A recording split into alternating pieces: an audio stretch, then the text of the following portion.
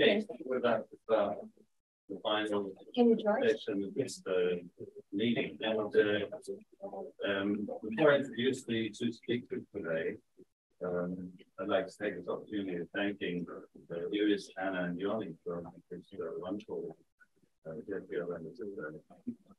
very, very informative uh, program. And uh, one that I'm sure the young students who are attending and the the older scholars as well will retain as something of value and you know, whatever direction you say this will be taken. Uh, I'd also like to take the opportunity to remember Ronnie, um, who, as Iris pointed out, was one of the instigators, Perhaps the chief instigator of this um, program. And uh, um, we saw uh, a bunch of yesterday. Um, and uh, we certainly missed here. And um, uh, I had the, the, wonderful opportunity of working with Ronnie for a number of years in the 1990s at Valley And, uh, I, and I remember that as a wonderful experience terms of seeing firsthand the fire of imagination and uh, the scope of his knowledge and his unique way of looking at things. And uh, certainly Ronnie um, uh, represented what Penny was talking about in the first day of the conference, um, of the importance of uh, applying, making use of, of archaeological studies in uh, understanding the Crusade and uh, in understanding the history of the Crusades, whether you're dealing with uh, whatever aspect of the Crusades you're dealing with, the importance of archaeology is expanding our knowledge. Is, is something fundamental and something that's not really represented in this work. On the lighter note, it occurred me that this final session with two speakers today uh, represents two themes that are essential to the life of any cultured society. One uh, somewhat esoteric, the other entirely practical. Art on the one hand, and money on the other. uh, and the great Irish wit Oscar Wilde wrote, "Art is quite useless. It's all, but also so is a flower." And uh, um, in its unique way, he was saying that art is not practical, but it is desirable and even essential. And to quote another famous bit, this from an American, Groucho Marx, referring to money, he said, money frees you from doing the things you dislike. And since I dislike doing nearly everything, money is handy. it's a rather statement. It does allude to the importance of uh, the role thereof of money, which is true as well compared to the that is today. So these are the two topics we're going to be hearing about art, sublime, exalted, praiseworthy, and of course not really useless at all, but playing an essential role in human life and culture, and certainly, certainly in the art of the Middle Ages. Money, practical, somewhat vulgar, but very, very essential and both art and money are important windows into our understanding of the society of the Latin East, and indeed the any society. And hence the study of these two topics is crucial for our comprehension um, of society. Our first speaker today, who's going to speak about art, is uh, Dr. Gil Fishhof. Gil teaches medieval art and, and medieval art, Crusader art, uh, art history in the Department of Art History at the University of Haifa. Uh, as an art historian, he specializes in French Romanesque art and Crusader art, and much of his research is devoted to monumental art, patronage, competition between holy sites, the formation of identity uh, through and of institutional identity through the creation of foundation legends. His studies included uh, consideration of the mural cycle of the Church of Emmaus, uh, Abu Ghosh, and the and hospital patron, and the art of the Church of the Annunciation in Nazareth. And this topic today is a very fundamental one. What is Crusader without Crusader art? Thank you. Thank you, Bill Adrian. Um, I will try to show that uh, art in the Crusader kingdom, kingdom had uh, roles that were very uh, that were far from sublime It was very much involved in the dirty business of competition between uh, rival sites so we'll delve into that in a moment um, I would like to start by thanking Iris, Jonathan, and Anna for organizing this uh, whole wonderful week. I wish I could have attended um, uh, for the duration of the week. And I would uh, you mentioned, Adrian, you mentioned Ronnie, the Ronnie. I would like to uh, mention also uh, Robert Ousterhout, who a great scholar of Byzantine art and archaeology, who passed away sadly a few weeks ago, and he was a dear friend and mentor, and he will be much missed. the very notion of the Latin Kingdom of Jerusalem as a crusader state is being increasingly challenged in current scholarship. In a recent study, Christopher MacEvitt traced the historiography of the notion of a crusader state and observed that in much of the scholarly discussion, the distinction between the crusades themselves as armed expeditions and between the society ruled by the Franks in the Latin kingdom has become blurred, with the history of both having become almost synonymous. This has in part been caused by the researchers' perception of the Latin states as an extension of Western Europe, reinforced by the recurrent crusading expeditions. According to MacEvitt, the results of this scholarly conflation were crucial since, since it, and I quote, divorce the kingdom of Jerusalem and the other Frankish principalities from the larger Middle Eastern world, thereby implicitly promoting a facile clash of civilization model. This centuries old conflation of kingdom and crusade and the subsequent use of the name uh, Crusader states assimilate two very different histories.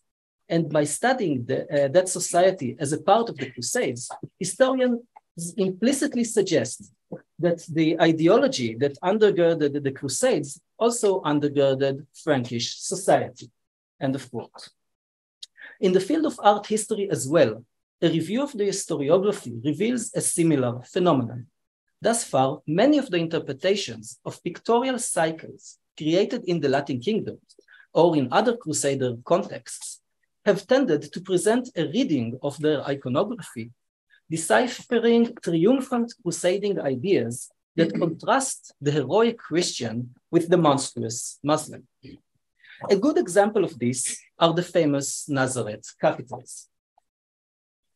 On display in the Franciscan Museum of the Church of the Annunciation in Nazareth are the five capitals originating from the Crusader Church of the Annunciation that were discovered in 1908 by Father Prosper Viaud, alongside additional figural fragments discovered by Bellarmino Bagatti during the excavations carried out in the 1950s and 60s. All five capitals were found almost undamaged buried in a small grotto outside the north portal of the Crusader church. The uh, extraordinarily fine condition has suggested to many scholars that the capitals had never been exposed to weathering, and thus that they were never uh, installed in their intended location. Seeing in this an indication that the capitals had been intentionally hidden away for protection as the threat of Muslim conquest increased in the last year of the Latin Kingdom, several scholars, including uh, Paul Deschamps, Tom Boase, Alan Borg, and others, have suggested a late date for the capitals, the uh, 1170s or 80s. Joshua, Joshua uh, sorry, Jaroslav Folda, who dedicated a monograph to the capitals, argues that the almost pristine capitals belonged to a never completed aedicula above the shrine grotto inside. Zehava Jacoby has suggested a completely different location for the capitals as that of the west portal of the church, mounting the colonnettes, supporting the lintel and archivolts, and surmounting the jamb statues on either side. On stylistic grounds, she dated the west portal with its capitals to the mid-12th century. Four of the Nazareth capitals are polygonal, polygonal and one is rectangular. Set under elaborate architectural canopies, the four uh, polygonal capitals present scenes from the life of the apostle Matthew, Thomas, Peter, and James the Great. While some of the scenes are traditional, such as the doubting Thomas that we see uh, before us, and the martyrdom of James. Others display an extremely rare iconography and reveal an emphasis on episodes of the ministry of the apostles and their mission to the far corners of the earth. A good example is that of the Matthew capital before you that depicts scenes from his mission to Ethiopia. As far as I know, this is the only representation of these scenes in medieval monumental art. Among the subjects uh, depicted are the confrontation of the saint with two sorcerers and many other rare um, scenes. One of the most challenging questions concerning these capitals uh, relates to the choice to depict a cycle of the apostles rather than, for example, a Marian cycle, which would have been directly connected to the holy site of the Annunciation. And indeed, several scholars have understood the appearance of the apostles on the capitals and the emphasis on their mission uh, in the East in relation to their being biblical models for the Crusaders and the crusading mission. Thus, Boase have suggested that the iconography of the Nazareth capitals is an expression of 12th century interests in the East. Later, Moshe Barasch expanded upon this interpretation and suggested that the choice of the apostles gave legitimation to the Crusader settlement in the Holy Land. Much uh, more recently, Lucy Ann Hunt has suggested that the cycle as a whole should be interpreted in a context of a mission to convert the Muslims. Many of the interpretations of the rectangular capital from the Church of the Annunciation follow a similar path. The rectangular capital presents a crowned female figure leading a named male figure by the hand in the midst of four terrible demons holding bows and other weapons. The scene has often been identified as that of ecclesia, faith, or the Virgin Mary, leading an apostle or a believer to safety. Moshe Barasch has suggested that the choice in this scene may have been related to the growing Muslim threat in the last years of the Latin Kingdom, and that the allegorical figures may also have had a more specific meaning as a representation of the frightened Christian community in Nazareth being led to safety by the church. For Barasch, therefore, the images of the demons are associated with the Muslims. More recently, Lucy Ann Hunt has suggested that the male figure can be understood as a missionary in his attempts to convert the pagans, assisted by the church as he faces the menaces of war and idolatry. Uh, it is in this light that Hunt interprets the exceptional portrayal of the four demons, which he regards as an image of the Muslims uh, who attacked the church and its missionaries. While their faces are those of hideous, grotesque uh, demons, thus expressing their corrupt and indeed monstrous nature, their bodies are those of naked males, presenting qualities of almost classical beauty in the contrapposto of the body and the detailed even sensuous celebration of the muscles. While seen in such a quotation of antique sculpture, also, um, uh, excuse me, while seeing in such quotation of antique sculpture, also a possible allusion to the paganism, the, uh, the accusation of which was often directed at Islam, Hunt suggests that it was meant to portray the seductive nature of Islamic evil. Returning to MacEvitt, it can be suggested that the tendency to focus on interpretation of Crusader iconography as manifesting triumphal notions is the art historical equivalent of the conflation between crusades as armed expeditions and the society in the Latin kingdom that he has observed in Crusader historiography.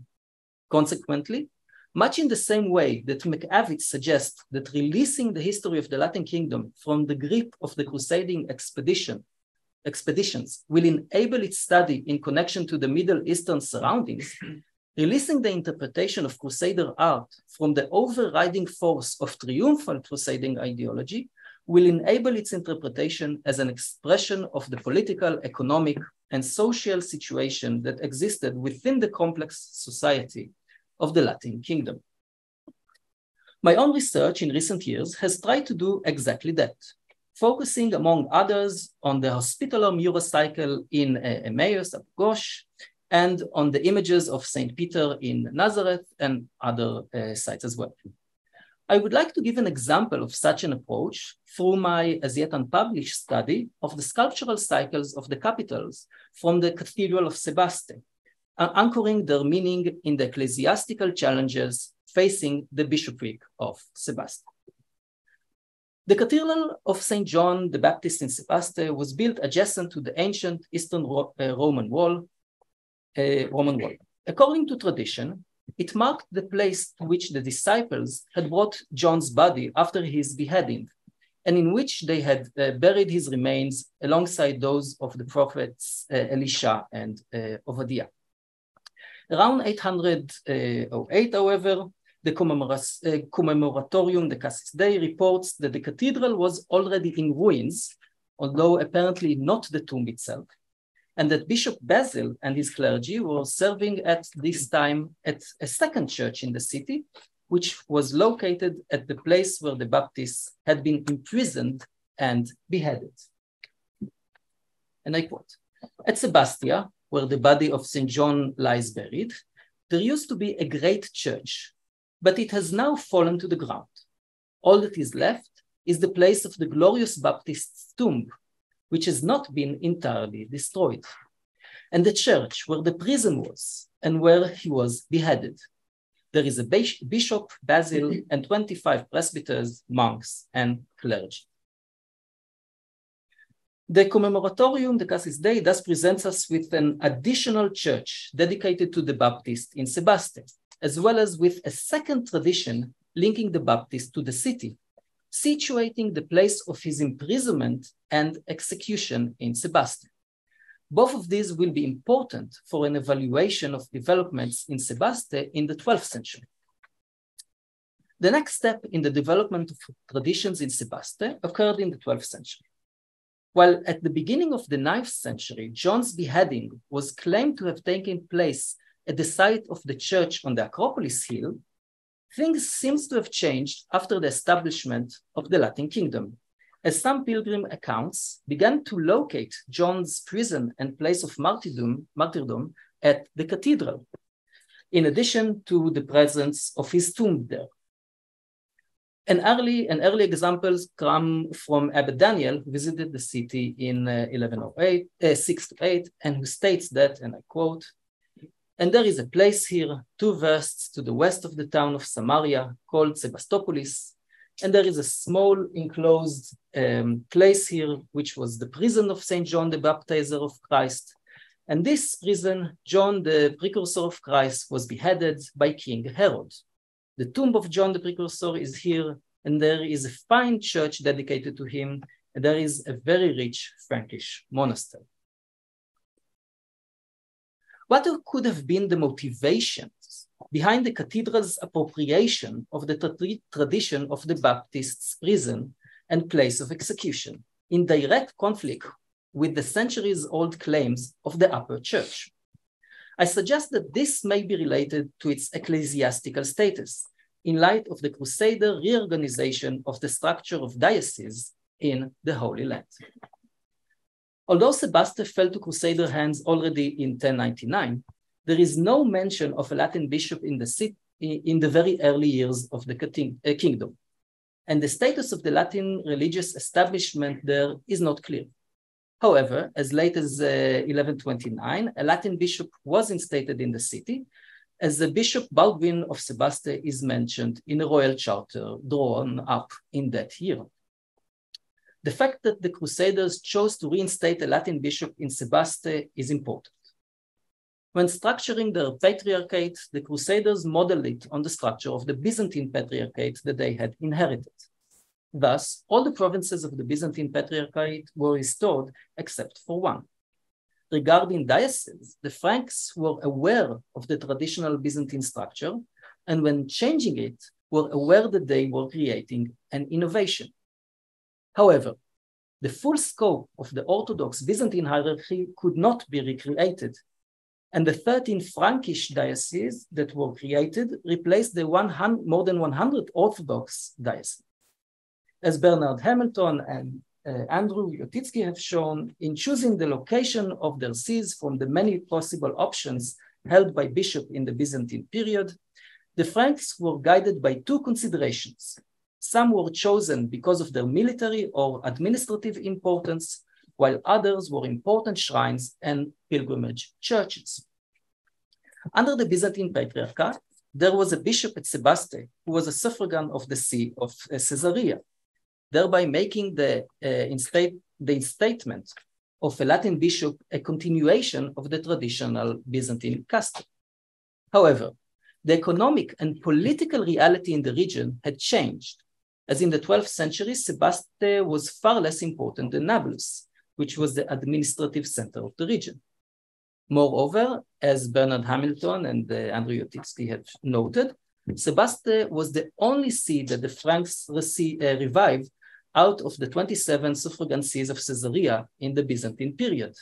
And it is plausible that Sebaste was considered more fitting than any of the suffragan sees of Caesarea because it was an important shrine connected to the Baptist.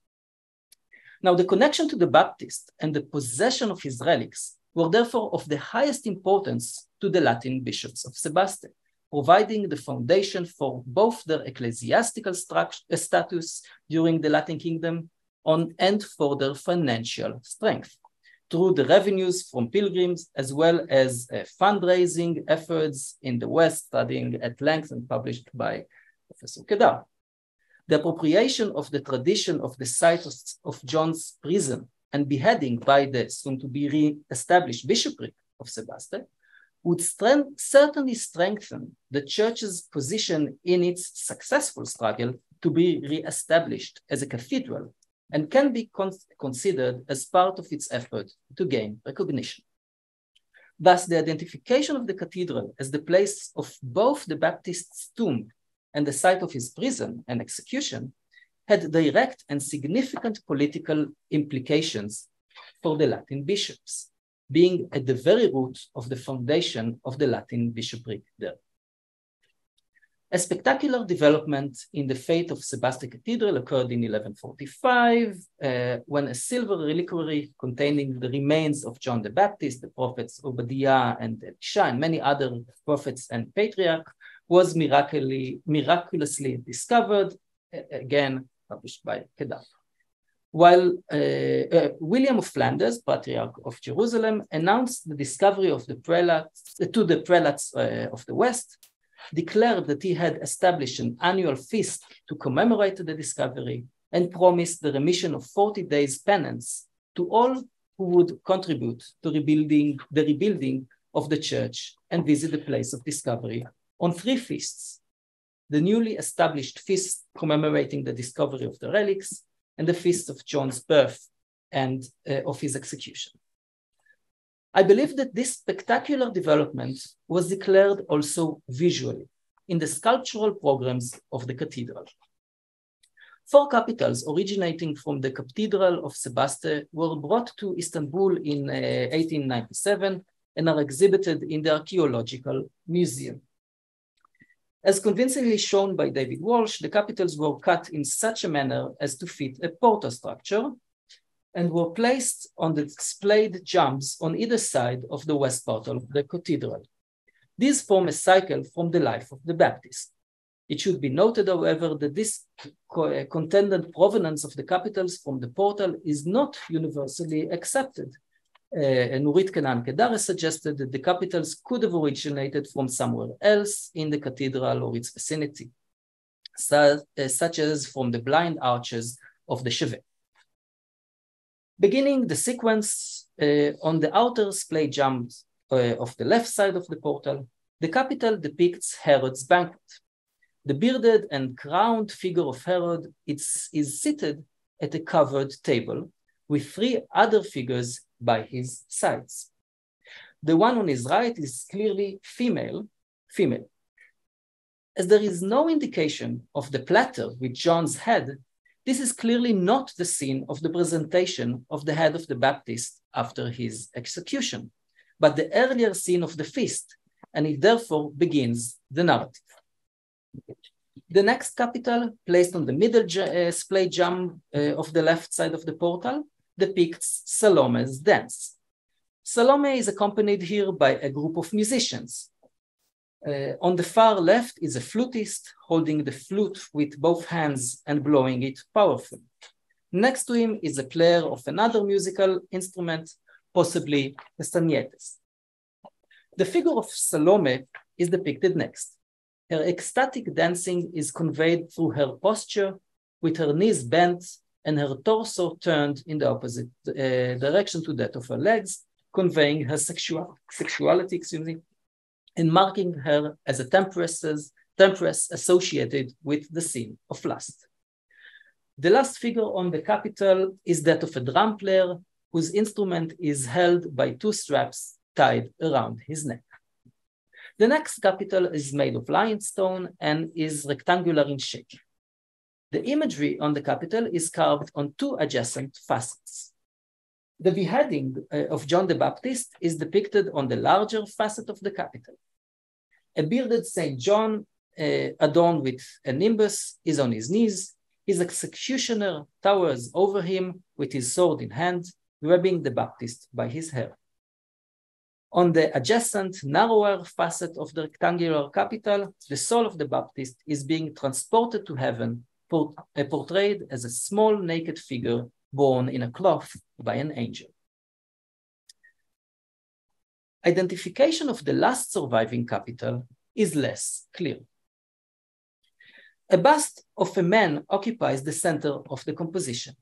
His posture is frontal and hieratic, and in his left hand, he holds a closed book. The position of his right hand cannot be determined any longer, but it possibly held another object, object or perhaps made a gesture of blessing. He wears a prominent cloak across his shoulders. Two additional, additional figures seem subordinated to him.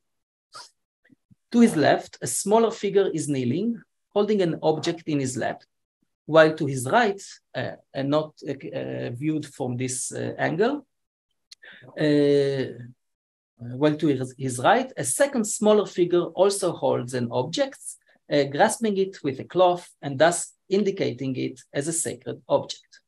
The entire group is located above a row of acanthus leaves, which also spring from behind, uh, which also spring from behind them.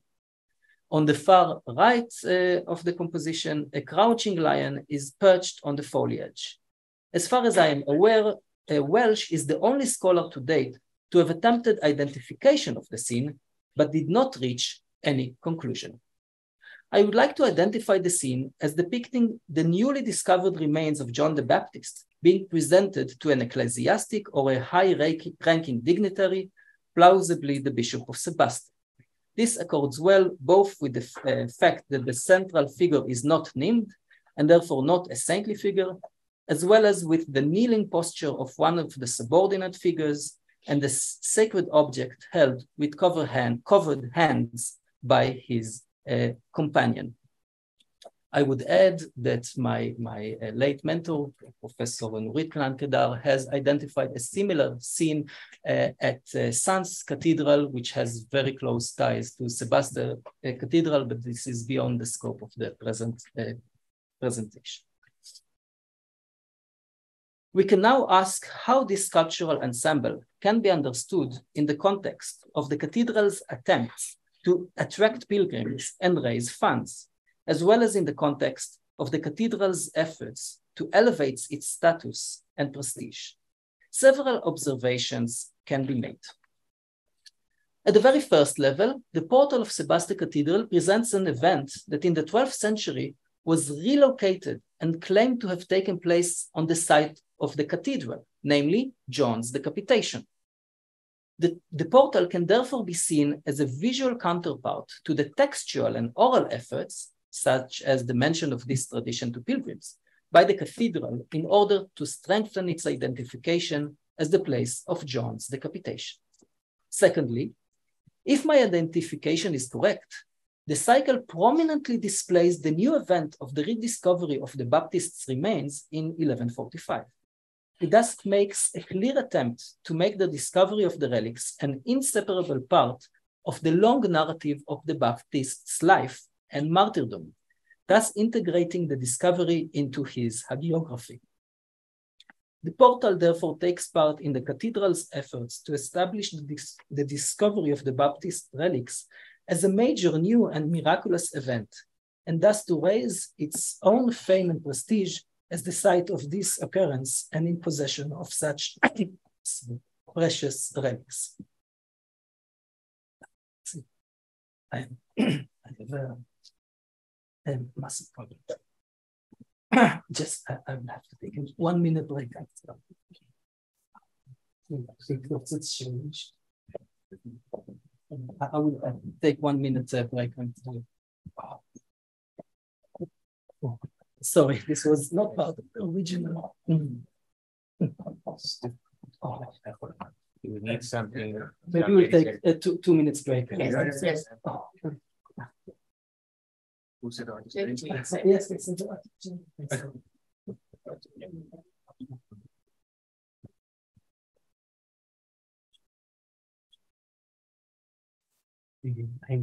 Uh, uh, no, it will take too long.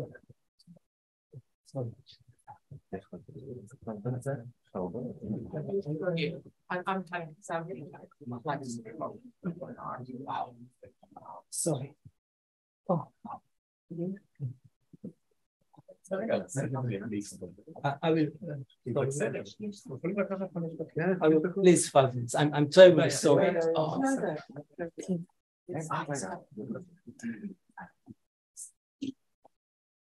Okay, so so we we'll take a five minutes break. Okay, so if anyone wants a coffee or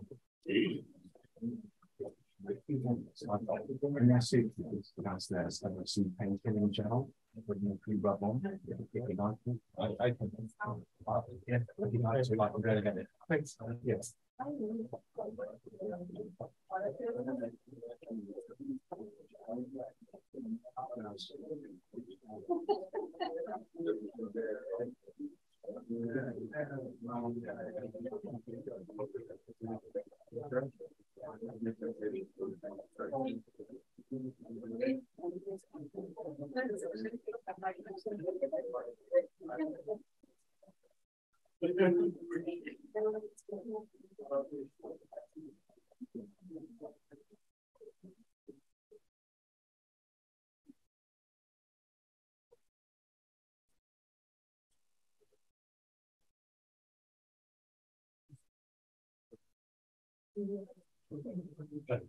tomorrow.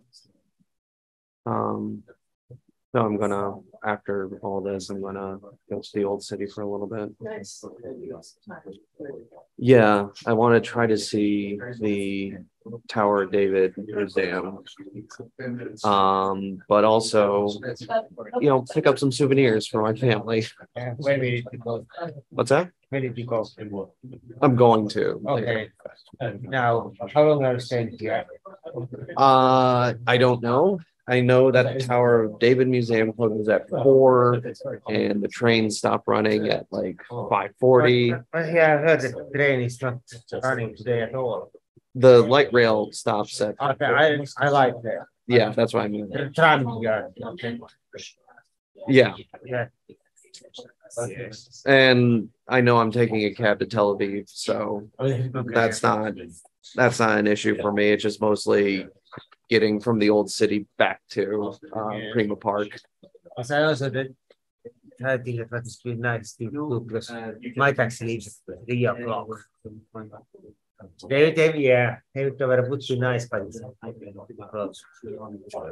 it's close. Three hours to be back because of so, so. Are you just? Yeah, because my flight's at eleven thirty, so just yeah, it makes sense to be a little bit closer so then I can get to the airport in good time. I'm I'm one of those people. It's like if I'm not like three hours, you know, early for my flight, I'm going to be late. Despite I know the absurdity of that, it's you know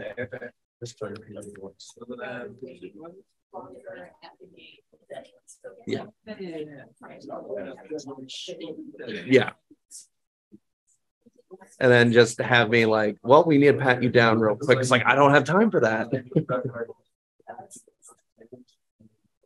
Um, my wife, who has grown up around airplanes because her father works in you know air airline shipping and stuff like that, is has a a bit more cavalier attitude towards you know getting there on time. It's like, yeah, if you're a couple hours, like at most, you know that that you get there. It's like okay, it's like trust me, I've I've I grew up in Miami Airport. Like I know. Yeah, yeah. Okay. Can you tell her like? Oh, okay. I know this tarmac.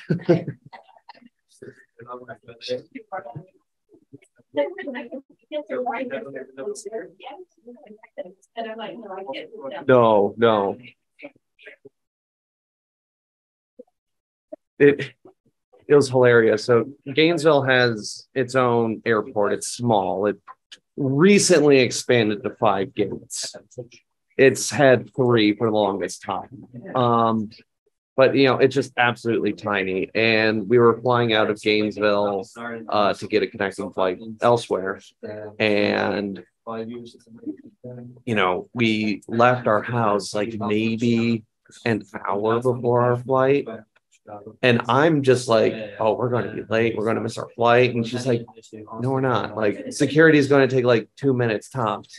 You know, it's like, trust me on this. It's like, I know we're going to, because we have to find parking and then we're going to, and you know, we get there, we park immediately, we walk right in, just go through security. It's like that. And we still have like 30 minutes before like boarding even starts. And she looks at me, it's like, so we're going to be late, huh? I mean, that's fair. but Yeah. At least there's nothing. Again, we'll wait. Small regional airports, or maybe it used to be this way, like, it has somebody that's getting so. Yeah. Where if they feel like that's where terrorism is gonna be stopped. I've I've had the worst sort thing. and, like, regional airports, And like going through. the- Lost. Yeah. Sorry. Well, because I know in Knoxville's airport, they post photos of uh, all the guns and everything that they've confiscated. And and I find it hilarious because it's like you didn't stop a terrorist attack, you stopped someone who forgot that they were concealed carrying. Yeah. Yeah. No, no, I completely understand. It's just, you know, a difference of attitude between my wife and myself when it comes to airplanes.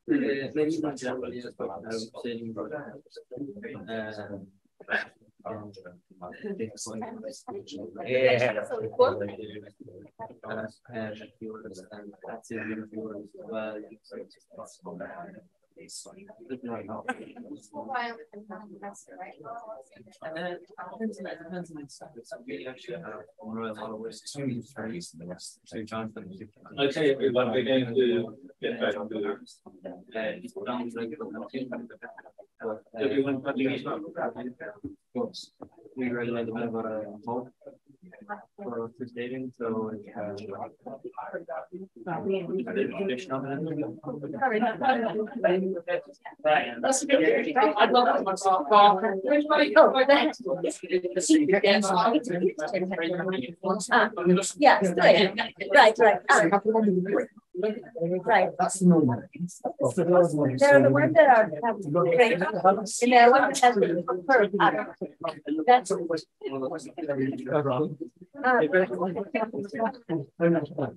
I think that, Yeah.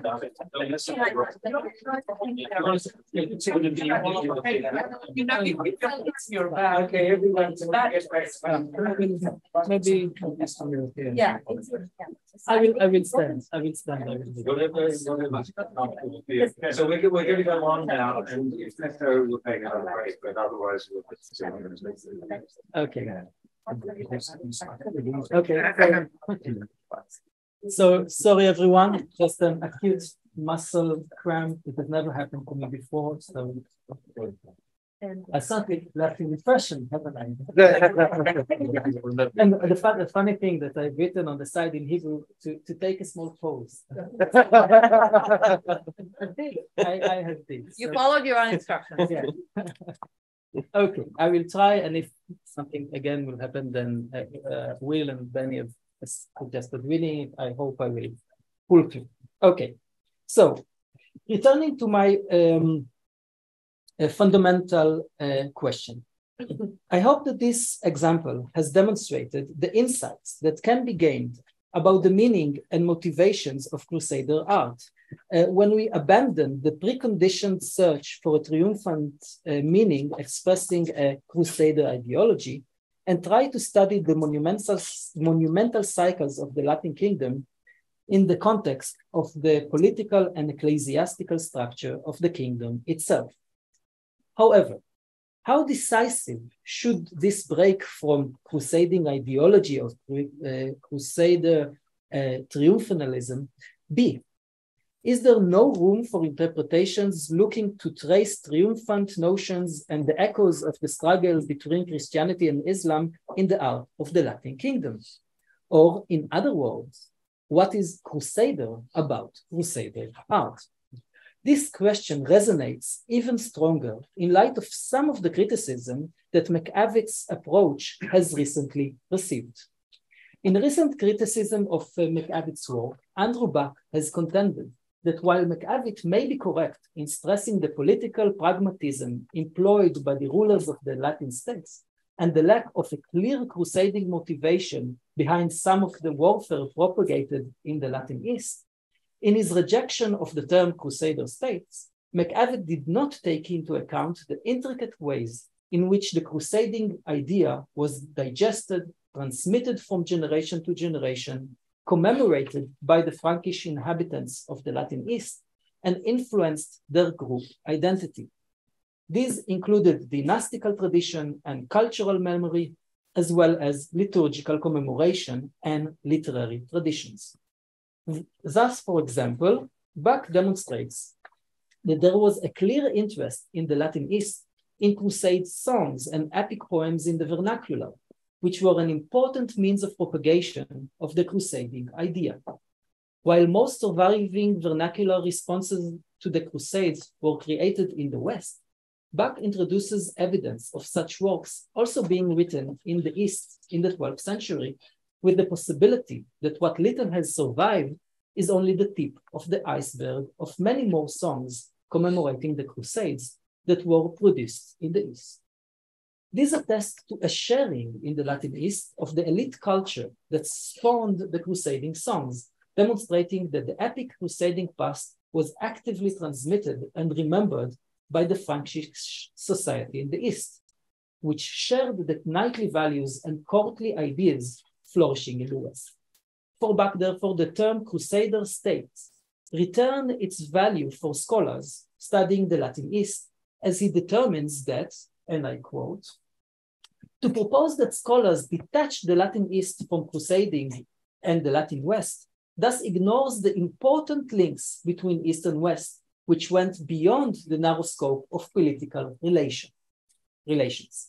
Such a proposition creates an artificial binary, binary between a crusading as a Western phenomenon made manifest in penitential warfare and imbued with intolerance and distinct ideology from its inception, and the Latin East as an area of complex interchange and rough tolerance. Of course, he's hinting at MacEvitt's book title. Um, though these uh, were perhaps not crusading states, they were nevertheless states formed through crusade, a reality that was never forgotten. End of quote. Bearing this in mind, I return to my question what is Crusader about Crusader art? I believe that both of the concepts of MacEvitt and of Buck have their merits, uh, but that in fact, in the interpretation of monumental cycles in the Latin kingdom, their approaches should not be seen as co contradictory but as complementary. I would like to suggest a new model, which I term the model of flexibility, according to which the specific imagery chosen at each site was selected precisely because it allowed simultaneous diverse meanings, often complementary and sometimes even contradictory, in a way that facilitated their acceptance by the vast and diverse array of patrons and audiences that characterize the heterogen heterogeneous society and complex social structure of the Latin Kingdom of Jerusalem. In a word, the selected images allowed sufficient flexibility of interpretation to accommodate for possible tensions or, di or differences in approach by the different group, groups of viewers or by the patrons themselves. While this, while this model, I believe, is valid for public monumental art in the Middle Ages in general, it is especially fitting for the art created by and for the heterogeneous society of the Latin kingdom. Let's return to the rectangular capital from, from Nazareth for an example. Alongside the triumphant readings prevalent in the historiography concerning the capitals, which I've mentioned at the beginning of this talk, other interpretations can be proposed. In a previous study, I have suggested that the iconography of the rectangular capital should be interpreted in light of the challenge that had been posed to Nazareth by the Church of St. Anne in Sepphoris, competing with Nazareth for, for pilgrims and for prestige as a holy site associated with the Virgin Mary. Sepphoris has been associated associated from early times with the Virgin and her parents. In the 6th century, the pilgrim from Piacenza described relics of the Virgin found at Sepphoris. I quote, at Ptolemais, we left the coast and traveled into the Galilee region to a city called Diocaesarea, Sepphoris, in which we venerated what they said was the flagon and the bread basket of Saint Mary. The chair also was there on which she was sitting when the angel came to her.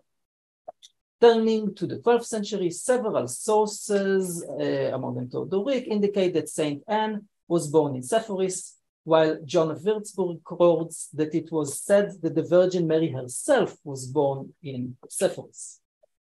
Sometime uh, in the middle or second half of the 12th century, a Crusader church was built in Sepphoris. Its plan uh, cons uh, consisted in a nave and two aisles terminating in a tripartite apsidal arrangement in its general outline, uh, and this was typical of Crusader churches. Now, what was the purpose and function of this church, and what relation does it have with the traditions pertaining to Saint Anne and the Virgin? Denys Pringle has contended that there is nothing about the building that indicates that it was constructed to mark a holy place, and therefore, the main function of the building would have been that of a parish church. However, both Jaroslav Folda and Esther Grabiner claim that several characteristics of the building suggest that it might have been intended to mark the holy site of Saint, Saint Anne's house. Among these characteristics, they mentioned A, size of the church, which is, which is 30, 37 by 22 meters, which is very large for a village the size of Sepphoris. The unusual, B, the unusual richness of the architectural structure and the decoration of the eastern parts. And C, the reuse of many architectural elements, among them columns within the fabric of the Crusader church. And this had both a practical as well as a symbolic purpose conferring among, upon the edifice an aura of antiquity and sacredness and a connection to the early church. When all this is considered, a picture emerges of a holy site created at Sepphoris and tradition that were cultivated and, com uh, and competed directly with those of Nazareth, especially in the claim that the Virgin was born in Sepphoris. And indeed, contrary to the claim at Sepphoris, Theodoric describes how in the grotto of Nazareth, moreover to the right, there is to the south, there, uh, there is an arch structure having only a single cross engraved beneath it, in which the Blessed Mother of God, when she was born, came out of her mother's womb. This clash between the claims of the two sites was observed in the beginning of the 1170s by John of Würzburg, who, while noting that it was said that the Virgin Mary was born in Sepphoris, added that he understood from Jerome that the Virgin was born in Nazareth. I believe that the iconography of the rectangular capital responds to the challenges posed by Sepphoris. While, as we have seen, it had often been identified as an image of ecclesia or faith leading an apostle or believer to safety, Jaroslav Folda has identified the image as that of the Virgin Mary, connecting it, connecting it to the Greek tradition of the descent of the Virgin into hell and her pleading on behalf of the tormented soul, the descent of the Virgin, not of Christ. If so, then the imagery of the rectangular capital places a considerable emphasis on the redemptive power of the Virgin, assisting those in need and having mercy even for sinners. Indeed, as this capital was, was installed in the Church of the Annunciation, the protective role of Mary referenced by this image could be understood as directed towards the pilgrims arriving at this holy sanctuary, thus making a strong visual claim about the benefits to be gained by those visit, visiting the Virgin sanctuary in Nazareth.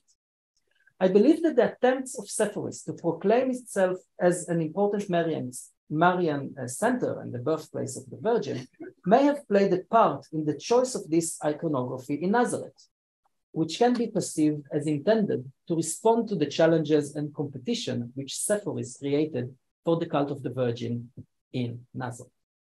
Now, as my model of flexibility suggests, this interpretation does not intend to negate the crusader or triumphant reading of the capital, but should be perceived as complementary.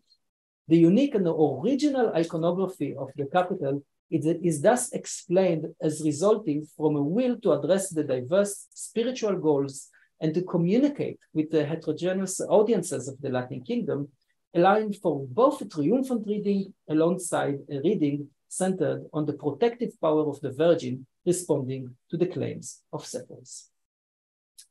To conclude, what then is Crusader about Crusader art? In a monograph in 1994, Bianca Kühnel set out to re-example the very notion of Crusader art, questioning whether it should be understood as a geographical, historical, or art historical concept. In the concluding chapter of her book, Kühnel defines three characteristics of Crusader art that enable its perception as an art historical term. A, a conscious, meaningful integration of forms from the artistic past of the Holy Land. B, respect for the locus sancta and demonstration of the meaning and unique tradition of each holy site. And C, manifestation of contemporary ideas and realities, including political and geopolitical. I agree with Professor Kühnel regarding the validity of all three of these points. I would however like to expand them to include a more specific characterization of Crusader art as that which the includes iconographies that were sufficiently flexible to allow for a multi-layered reading. In other words, the specific imagery chosen at each site was selected precisely because it allowed simultaneous diverse meanings, often complementary and sometimes even contradictory in a way that facilitated their acceptance by the vast and, and diverse array of patrons and audiences.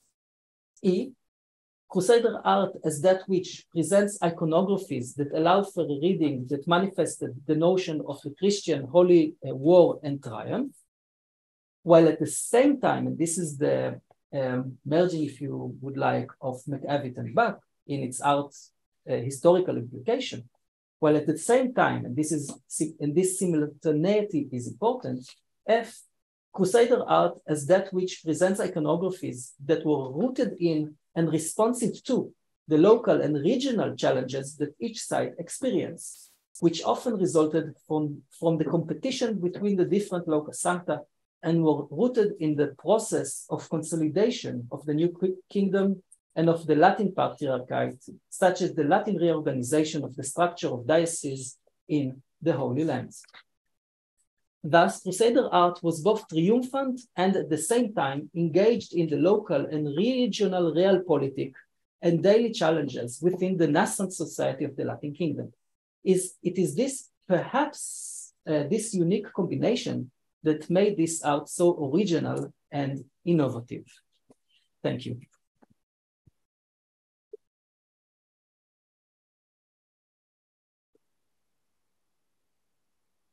Thank you very much, for that. Uh, Pushing through. Pushing through. um, do we have any questions?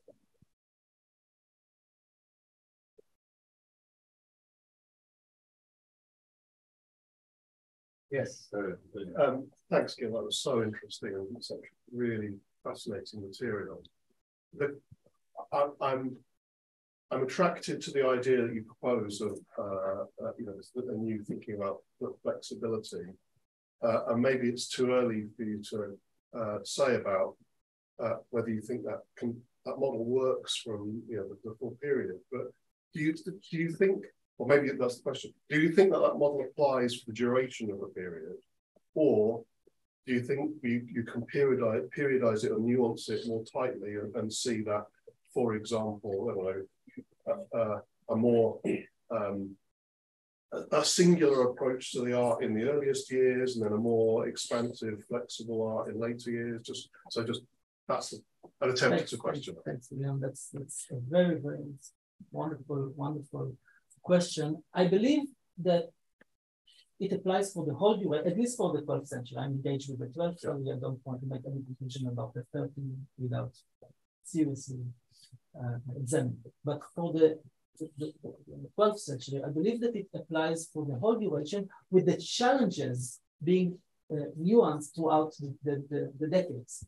Uh, I think there are, for example, if you think about uh, the hospitals, I, I, haven't mentioned Abu Ghosh, uh, and which is my one of my major uh, um, studies that I, I study. Um, if you think about their challenges in the 70s, uh, of course, it, it, it's uh, very much uh, evolved in competition with, with Temple. So we have, I think, different um, challenges and different, um, uh, I, I, would say, shifting uh, relations among the, the, the, different institutions that um, uh, evolve in the kingdom. So, but as, let's say, as a theoretical model, I would apply it for example, uh, of course, I, I, want to think more fully uh, on your question, but I would um, perhaps uh, suggest to look, for example, about how royal imagery in the first decades, to think about uh, the, the, what we know about the tomb of Baldwin, uh, um, then what can we say about it in the connection, for example, of royal versus patriarchal uh, struggles and connections, and then later on, as these kind of consolidate, try to see what happens between the different military orders. So I think the challenges shift the, the theoretical conceptual model, I, I think remains, I, I suggest. I just one, yeah, we talk, uh, Ron, Ronnie has been with us in all sorts of ways over the last days, but yeah, I think back to Crusader Castles and Modern Histories and, and the way he kind of, in that book, you know, periodizes within 1099 to 1187, you know, particular pressure points of theoretically and issues. It would be interesting to see as your, your thinking on this develops, whether that kind of subcategorization of periods maps onto anything you're looking at in the, in the visual. Well, I, I will tell you the truth. Um, my book about Crusader art is about to come out in perhaps six months. So, and um, I, I haven't tried to do it uh, to, to see the changes chronologically, but to take many uh, uh, uh, case examples to this process and to this theoretical model and um, to examine them in light of the different um, of the changing challenges, the foundation legends, things. And but uh, I would certainly want to think the evolutional um, or the chronological aspects of this of the implication of the flexibility model to think of. Thanks. Yeah. Thank you very much. Um, I'm also very, very attracted, like William, to the concept of flexibility of interpretation. But I'm also wondering about the bigger question of how the concept of representation is created in the Holy Land, like for art, I mean, for iconography. When you have, for example, uh, Charlemagne's schools, so you have a center and there's, you know, there are specific styles that you can identify clearly with the, with the past school and, and, and manuscripts and so forth. But it would be more difficult here in the Holy Land when you have different artists working, different traditions, existing remains. Um, I think more decentralized, perhaps. So my question is, how do you imagine that it works? How is the idea of this hybrid or flexible kind of iconography, how is it created and how it is transported or simulated from one place to another? Thanks. Uh, also, great question. Um, um, uh, there is a huge debate among uh, medieval artist uh, historians about the tensions or the, the, the work processes between patrons and artists. Where does, when we think of agency, where should we place it among the patrons or among the artists? Um, and my approach tends to place the agency more um, uh, strongly on the side of the patrons than on the side of the artists. Um, and, I, and having said that, I would suggest that the patrons in each specific uh, site, uh, uh, and certainly in the major uh, holy sites, uh, would I would look for there for, for there for the patron as uh, the source of agency and not not negating uh, the importance of the um, the artists but i think the selection of of um, subjects uh, uh i would find it hard to believe was left out to the artists to um, to select and to to plan a cycle um, and I'm not uh, referring here to, to, to, style. I've avoided, if you uh, notice, I have avoided the term style uh, uh completely in this paper. And, and, you all know that the, the long historiography of the question of uh, uh, Western artists and the, the, the, the groundbreaking work of my, my, my, of, my mentor, of Nurit Kenaan-Kedar, about the local character of Crusader art. And, um, but I'm looking for the, the, the moment of decision making. What do you want to say about yourself? Or let's say it more bluntly, what power do you want to obtain when you choose to plan a cycle, a, a narrative cycle or a monumental cycle and invest quite a lot of funds in this decision? So um, not not to say that style is not important. I think the style is extremely important, and I think that the um, decision which artists, which workshops, which artists to to uh, invite to come and uh, and execute work in a, in a site is extremely important and is a political and identity forming decision as important as that of with what am I going to portray. I, I had a debate once with uh, mm, um, uh, Denys with Denys Pringle about the Byzantine uh, character of the uh, the murals in Abu Ghosh. Why are they so Byzantine? And I suggested that uh, their Byzantine nature is a declaration, saying something about the hospitallers are saying something through the choice of such Byzantine iconography. And and uh, Denys disagree. I'm not comparing myself to Denys Pringle. I'm you know prostrating at his feet. But but but uh, we we we look differently at at this at the intentionality of stylistic decisions. Thank you.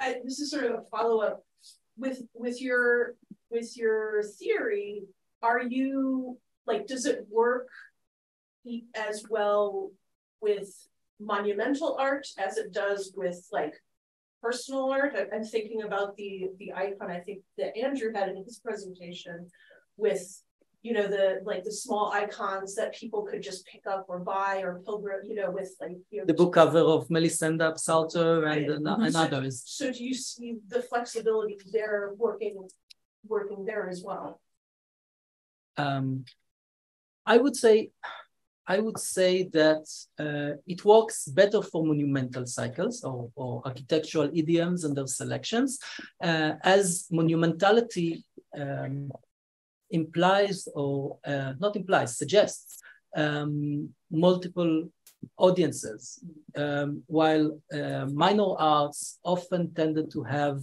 specific um, uh, intended intended viewers. Um, however, I would um, I would use the term flexibility in regard to minor art, as well, uh, since there we would think about flexibility in terms of uh, let's say, um, the, the um, recipient, for example, of a gift, if you think of Melisende and Fulk and so on, and the, the, the giver of a. Mm. So the flexibility works there a little bit differently. By the way, um, Anne, knowing your work about the Muslims, and then, then I think the flexibility model works, I think, uh, perfectly with the kind of uh, how should we place the Christian-Muslim relations within the Latin Kingdom. So the, I think there's things to gain when thinking with this model in this term as well. Thank you, Gil. It was fascinating. And uh, I must uh, add and follow up on what Anne also asked. Uh, the, the, question, the notion of flexibility works wonderfully with pottery that is produced in the Latin Kingdom of Jerusalem. And most, I think, uh, also in uh, regards to the forms and to the decorations, if this is pottery that's in Cyprus, or the so-called um, Indian ware that uh, was produced in the 13th century. So to continue also William's question, in the in the 13th century, in the pottery, you definitely see this flexibility, this use of different um, um, images. Some of them can be Western, like a Western knight, or an Eastern person sitting on the floor with his legs crossed and wearing a Eastern kaftan. But these things were found in Crusader Acre, both the Western style and the Eastern style.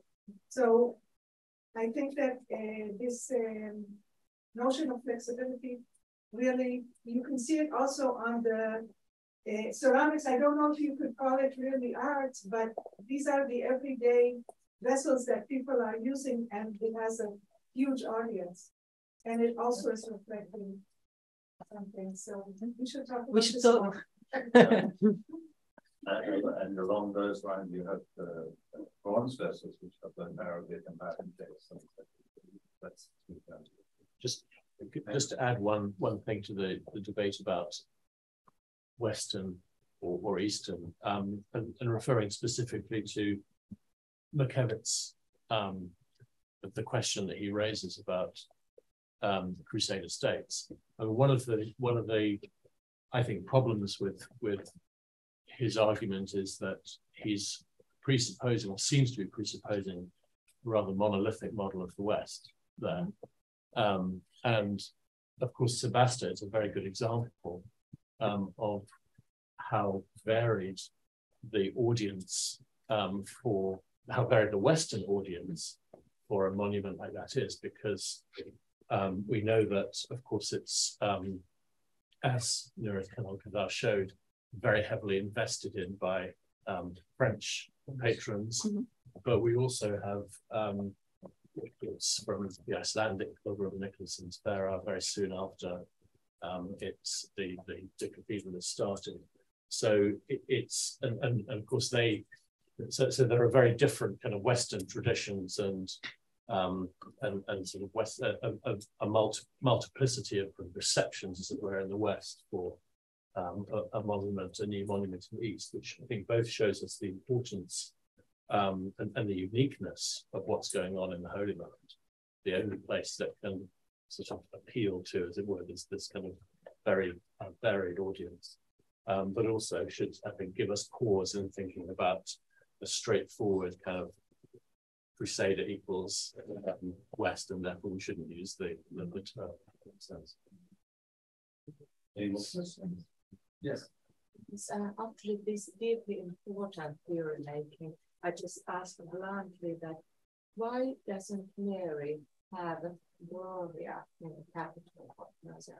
Is it there? And I just can't see it because it's striking to me that the the, the uh, male saint is having Gloria, but then the female figure is a, maybe it is there.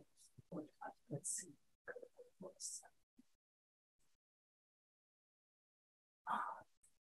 because you know he, he seems to be a little reluctant to follow her. The devils, there's a woman, and then there's male saint who isn't happy really to um, be taken.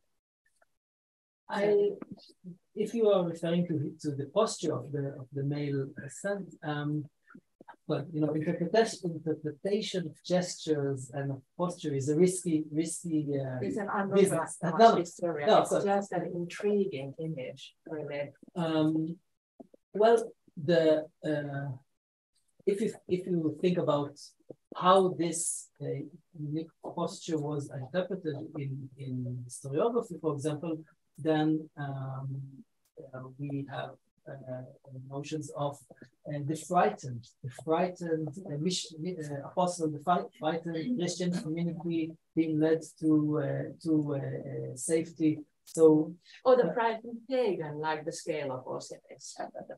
for example. So, Following, of course.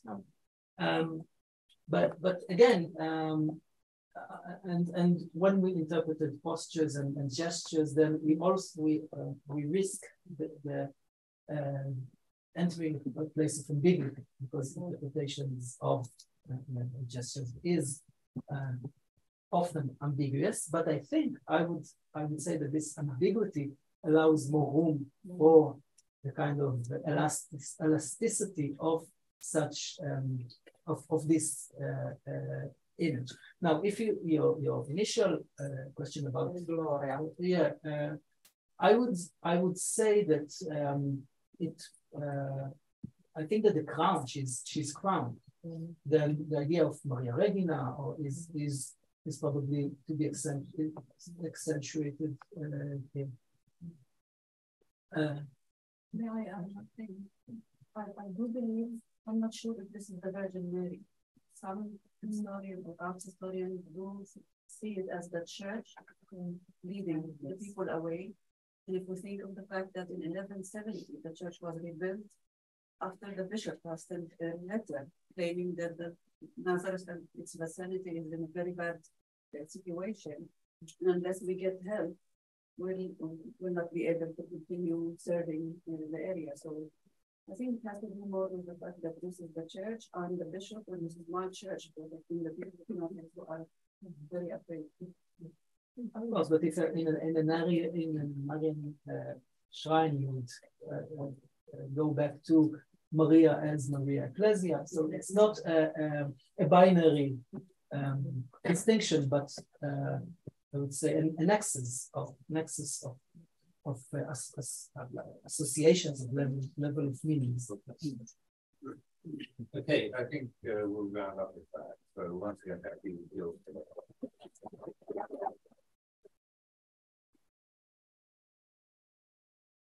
And uh, our second and final speaker is Dr. Wally Pope.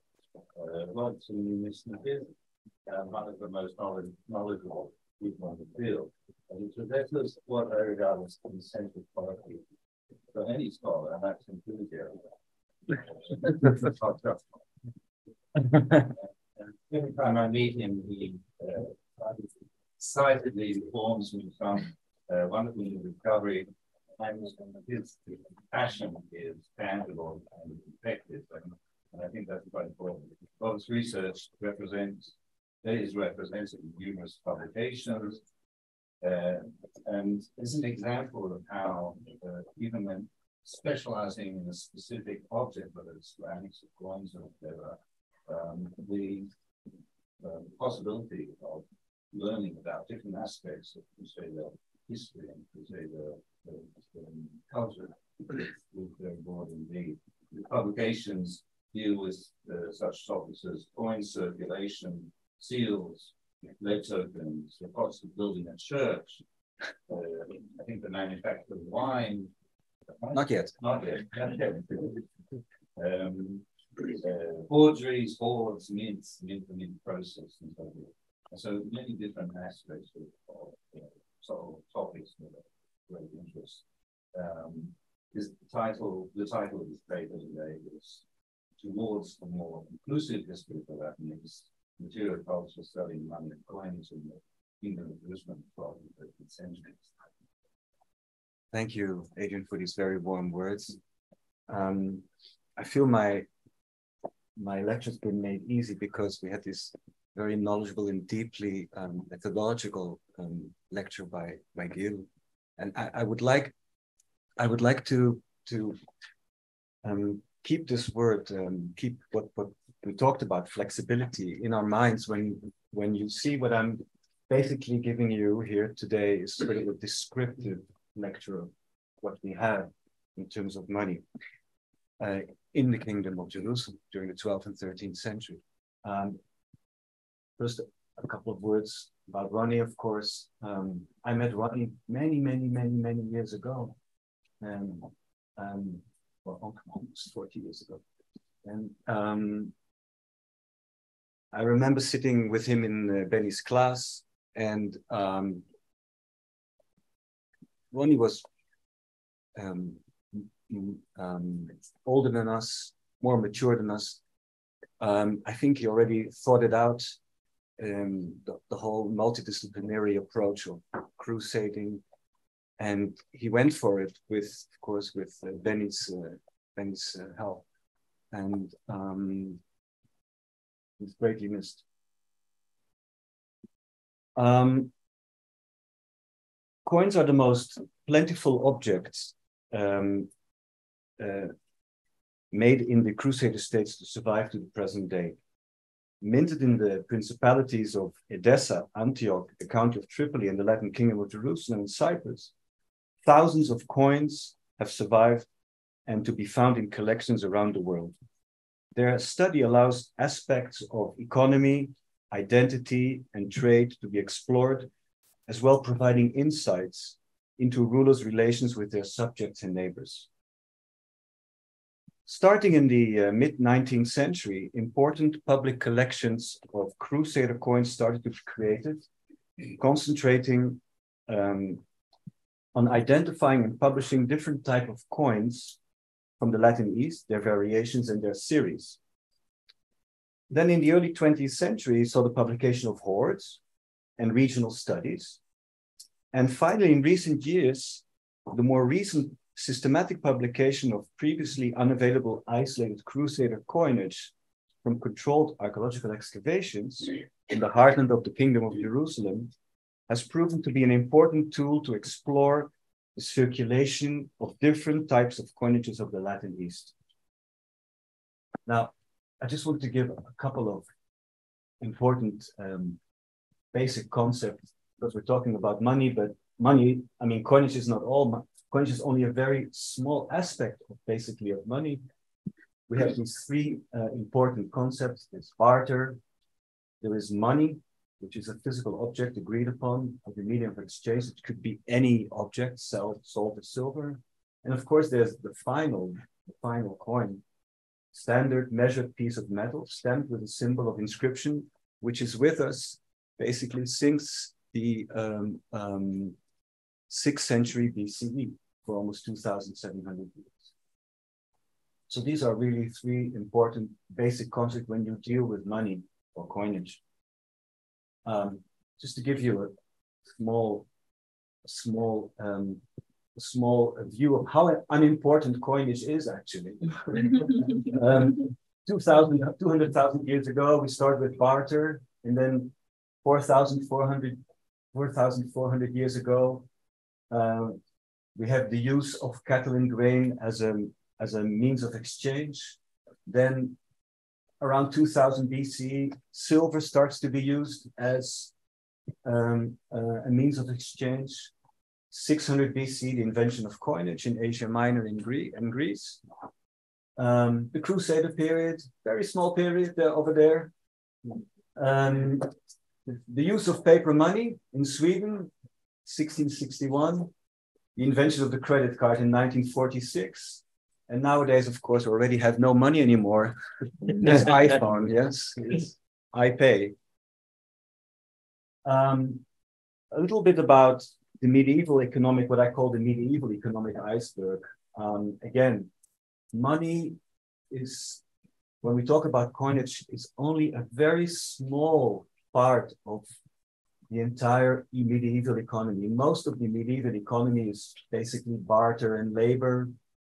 And when we talk about money, many times um, we talk about uh, the use of ingots, um, pieces of silver that people take with them on the crusades. Um, or even when we talk about the 13th century in uh, in Venice, a lot of uh, the money was transported in in um, in the shape of ingots.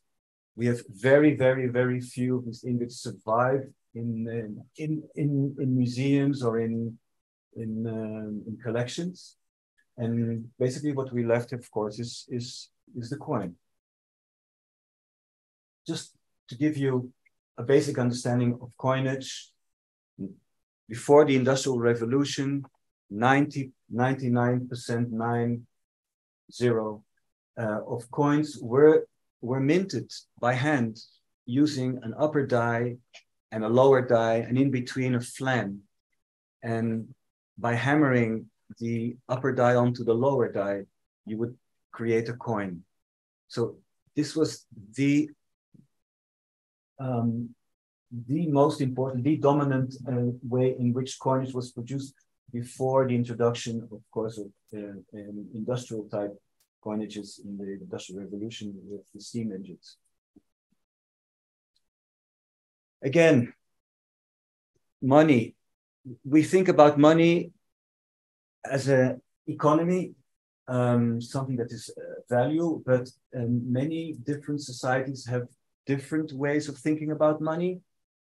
And this is a, a wonderful example of, a, of money from Micronesia, which, which, in which the value of the coin uh, is added by rolling it from house to house over centuries. So, um, and I just wanted to, to give this sort of, I would say, crazy example to, to, to, to show you that, that money um, also has different aspects, not just the aspect of um, um, um, economic value.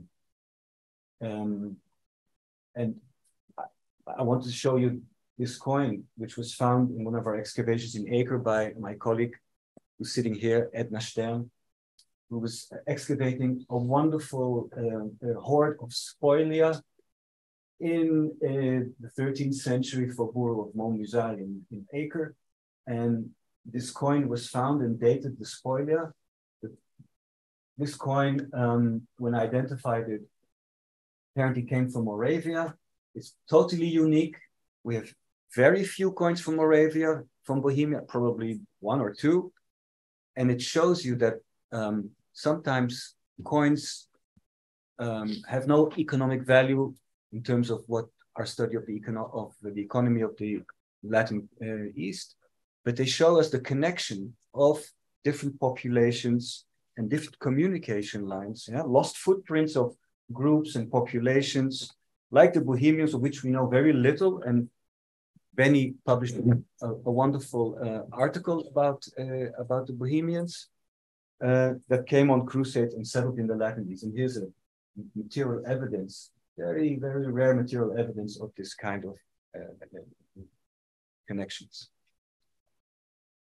Um, now, in contrast to the traditional numismatics uh, of typology, iconography, there is a new numismatics, which is based on provenance site, which allows statistical studies. Um, I can give you a, an, an, example from the study of uh, Greek and Roman coinage from excavations, which show that the rate loss of coins in a site averages about um, 0.2 0%, which means that for every coin, every coin loss represents about 5,000 coins in circulation. And this allows us to construct models of coin circulation based on coin finds or coin losses. Of course, one has to take account that these are usually heavily biased towards low value coins. Yeah, when you excavate, most of the coins that you find are not these wonderful, beautiful gold coins, but these are the silver coins, yeah? or not even the silver coins, these are the bronze coins. And secondly, of course, in the medieval period, um, coins often functioned as a store of wealth. So it was quite possible that up to 20 or 30% of the total amount of minted coins sometimes were herded or locked in a treasury.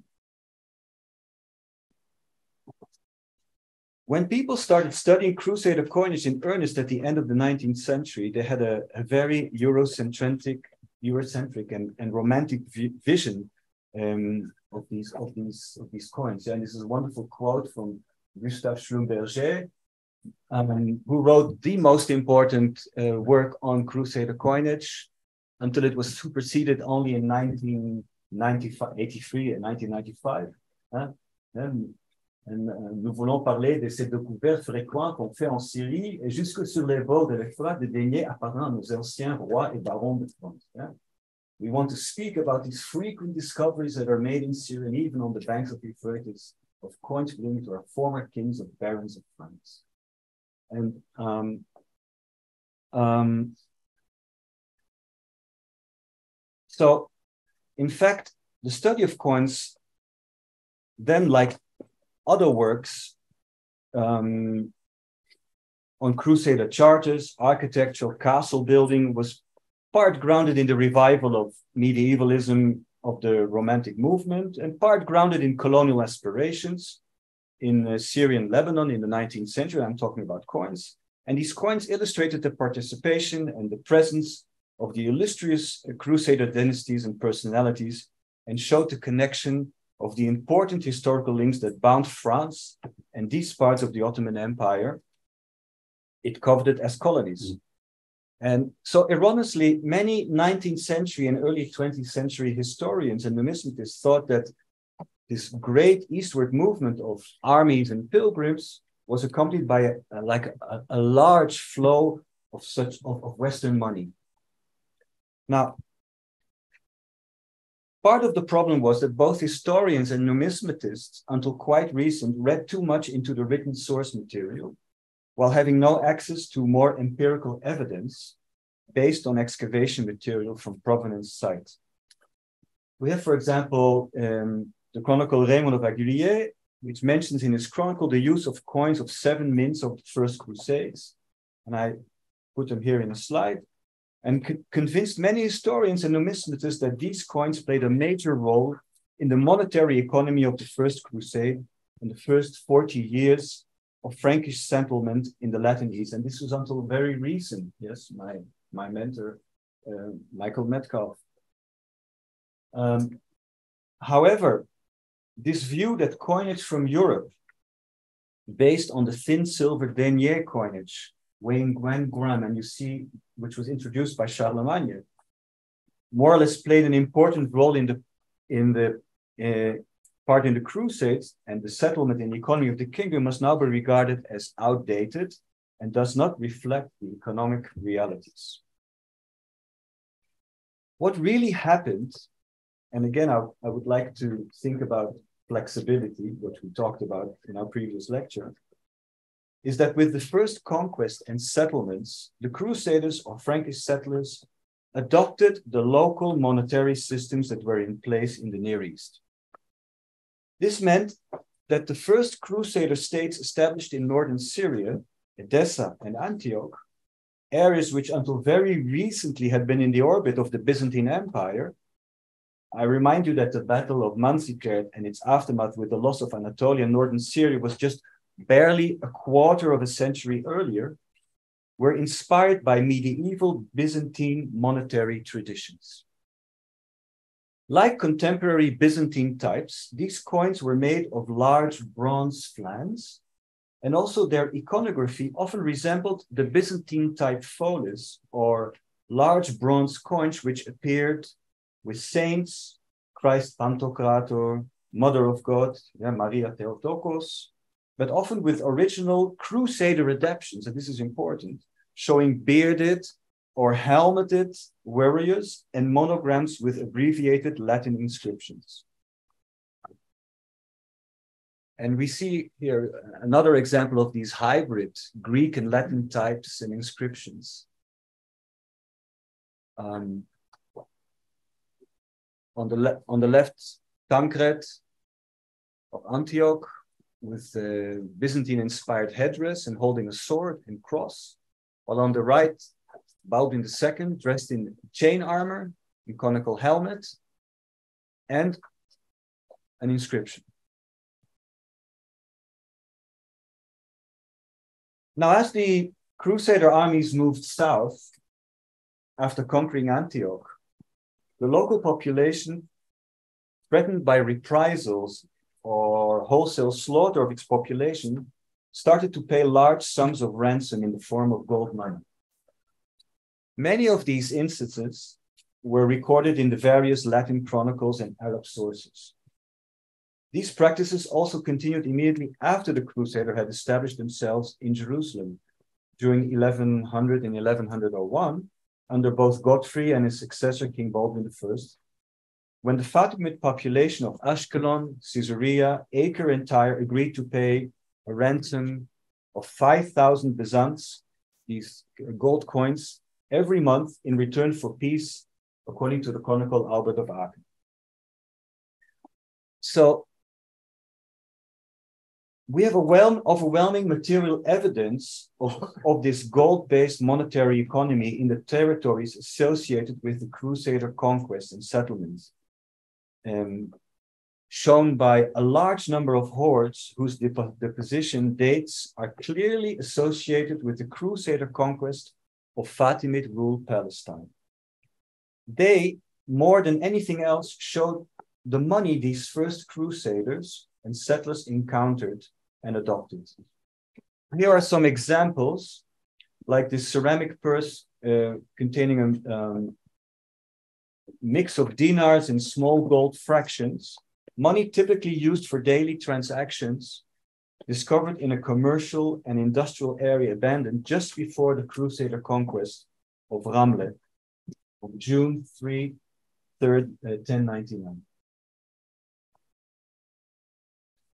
of these gold treasures, gold, dinars, and jewelry, uh, um, and um, this is another um, uh, one of these treasures uh, discovered in Jerusalem. Actually, it's three hoards, which were found according to um, what I have by the latest information near the Chula Gate, south of the Temple Mount.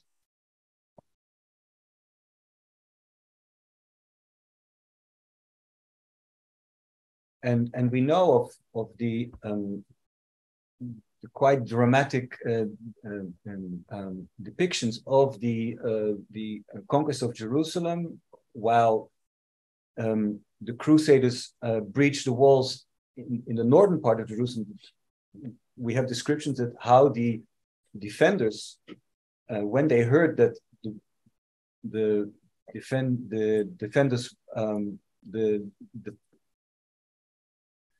the tower, the sorry, the um, defenses were breached in the north, they basically um, evacuated the entire defenses of the south and moved back into the um, uh, temple, into the uh, um, area of the uh, um, Tower of David. So these were what I could, what I would consider uh, hastily abandoned or abandoned hoards. Uh, um,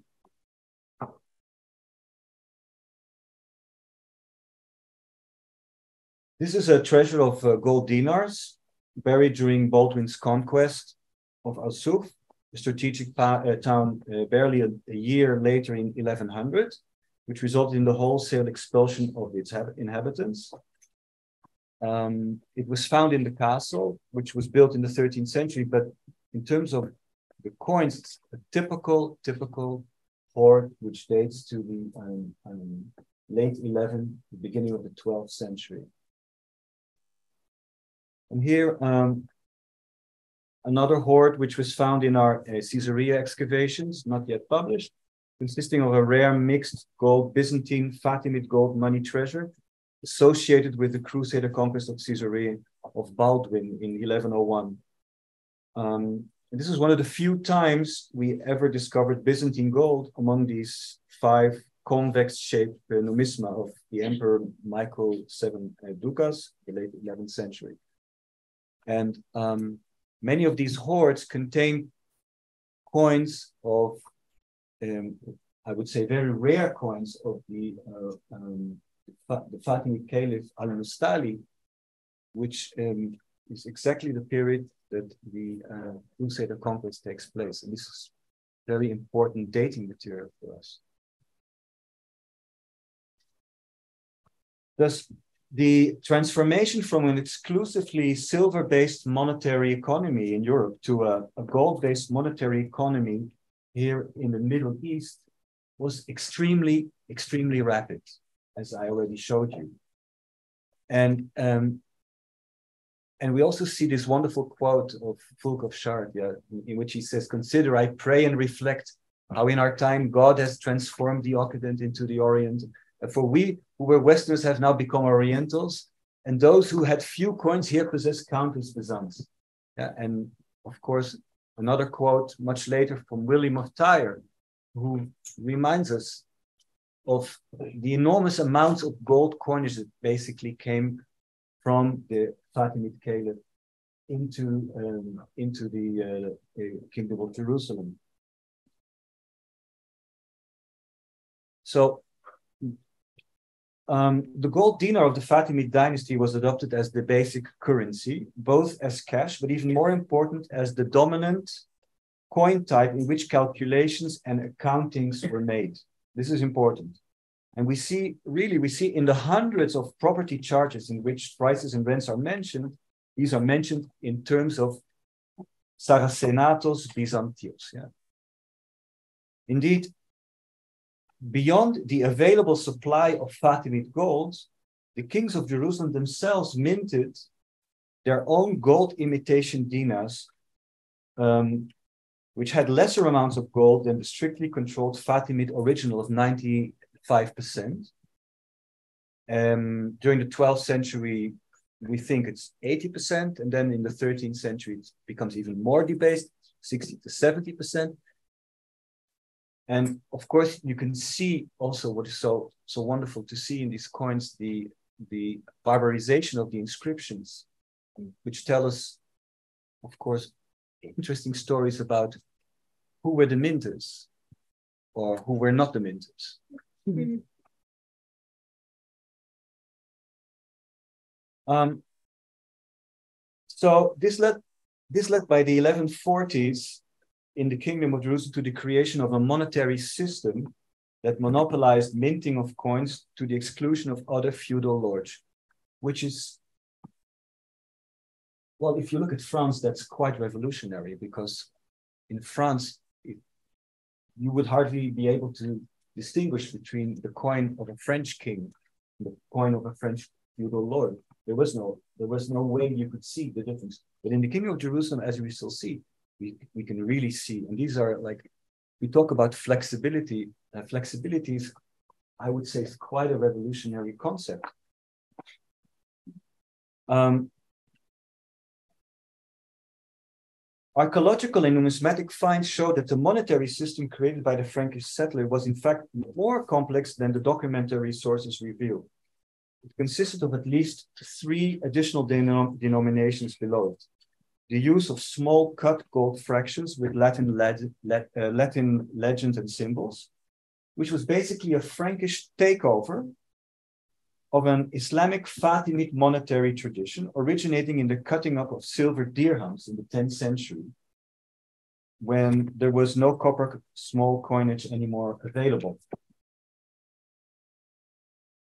In addition, um, so this is the standard Western coin type. Um, just give you an example of um, Conan II, Duke of Bretagne, who appears also in um, um,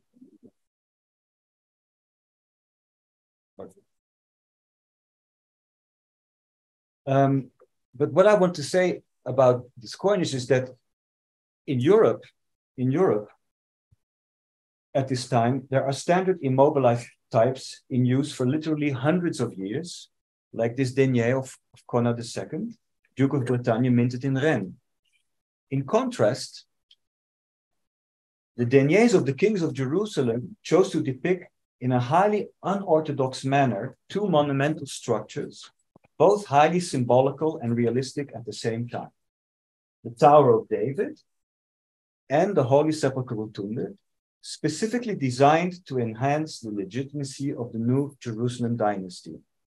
By associating with the biblical kings of Israel and their patronage over the holy shrine of, holy shrine of Christendom, And these coins are possibly the earliest example of a well-designed uniform territorial royal coinage system in the 12th century, with the exception, I would could say, of uh, the English, the English kingdom, much earlier than, for example, France, the alma mater's kingdom, by some 70 or 80 years.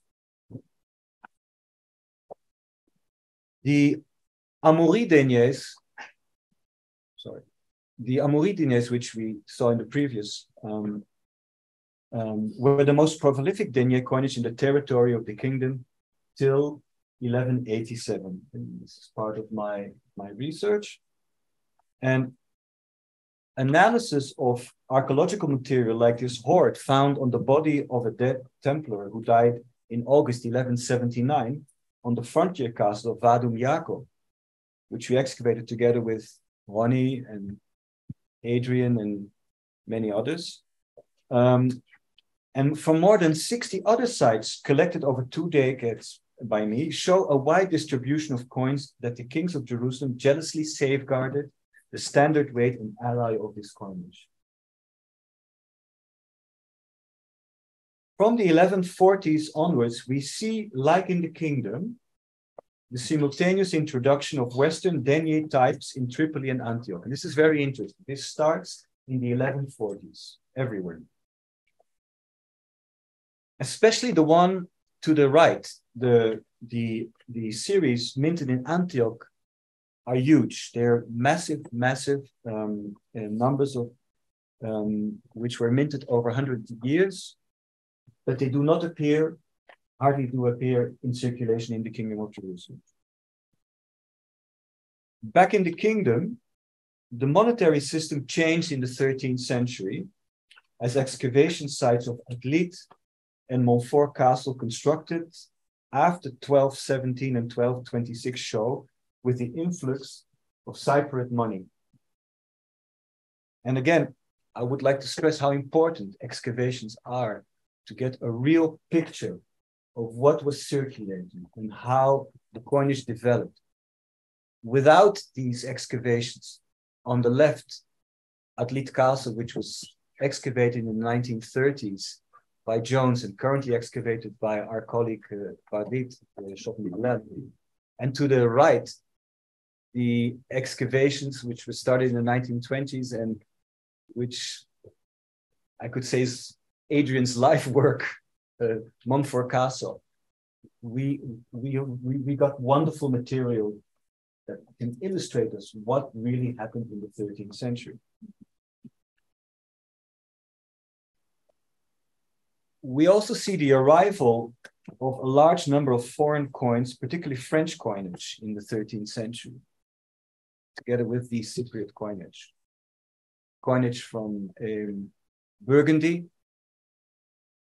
coinage from, um, from Sicily. And this coinage from Sicily is not only connected to uh, the, um, the um, arrival of Frederick II. I think it shows a basic connection also with Sicily. And what is so interesting, almost enigmatic, is the virtual absence of non-French coinage besides the coinage that I mentioned. And this is a fantastic um, find just recently identified. We um, near Ibelin, near um, uh, Yavne, Tel Ibelin, where we are, are currently doing huge excavations mainly uh, of the Byzantine and Umayyad period, but the the Tel, the Tel is Crusader and um, recently studied um, by Benny, Benny Kedar, and we find this coin, this very rare coin from Friesland in Holland, eh? the bishops bishops of Utrecht. Um, as far as I know, there are only two two Dutch coins that I've ever seen um, one now in Yavne and the other one in Apollonia, and that's it. And this is really an interesting question. Why do we see so few coinages of um, of um, those contingents which are not coming from France? Um, we see um, at the same time we see the indigenous royal coinage degenerated in the 13th beginning of the 13th century, ending with the enigmatic um, Damiata coinage minted by John of Brienne, the last real king of Jerusalem, between 1210 and 1225. Um, a lot of scholars think that these coins were minted in Damiata. I, I start to doubt this. I think these coins were probably minted in Acre, but uh, we'll have to talk, we have to write about this a little bit more. Um, we also see the embryonic uh, development of a feudal baronial coinage quite late in the kingdom, in the 13th century. And again, um, these are coins which were excavated. Um, to the left are Sur Castle, which we're going to publish now. And to the right, extremely, extremely uh, um, rare coin minted in Jaffa, in Jaffa, which was actually uh, excavated in a crusader context in Jaffa, which is quite extraordinary. Um, below all this, there's a variety of small lay lords that produce their own lead coinage, token money. Um, a monetary tradition imported from Western Europe, which did not exist in the East. And this local struck underground lead money formed an integral part of the cash used by the Frankish settlers in many of the cities, towns, and rural estates in the Latin East during the 12th and 13th century. And again, without excavations, we never know about this, never know. And what is so interesting about the uh, lead tokens is that this is really a West European tradition because there is no lead token tradition in the monetary system in, in the Near East, in, in the Islamic East. Um, so no, no lead? There is lead, but they don't, they don't they don't do it. Um,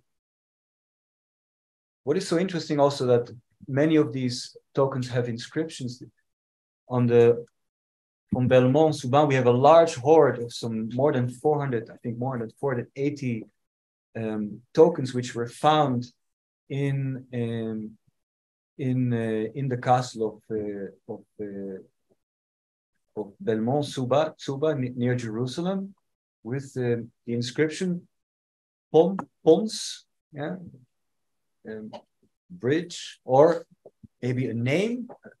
As you know, uh, Iris, it was a very um, um, common name. Common South French name. Exactly, exactly.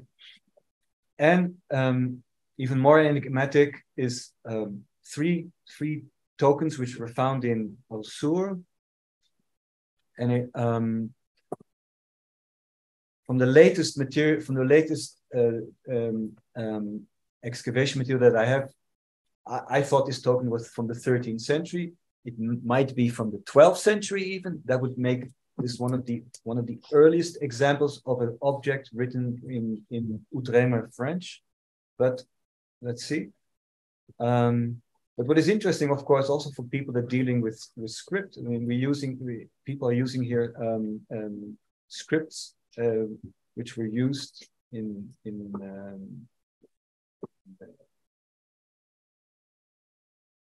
in people that dealt with scribal traditions that related to the 12th and 13th century. Um, we see in the Frankish settlements from the mid 1150s to the 1250s the circulation of local Islamic coinages, Zangid and Ayyubid coinages, copper coinages. Copper coinages are reintroduced in the Middle East after an absence of almost 300 years in the early 12th century, um, mostly in Syria and trickled down, then later on, uh, of course, uh, adopted by the Ayyubids.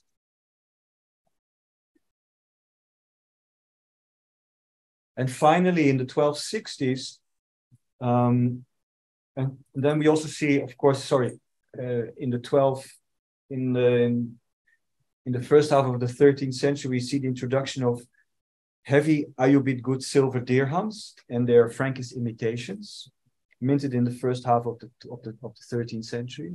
I mean, good silver coins are introduced around the 1160s by Salah ad-Din, and they become more and more important during the 13th century.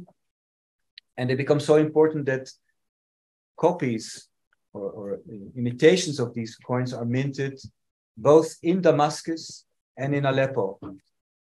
Sorry, the imitations are minted, the, the coins are originals are minted in Aleppo in Damascus, and the imitations are minted in, in Acre.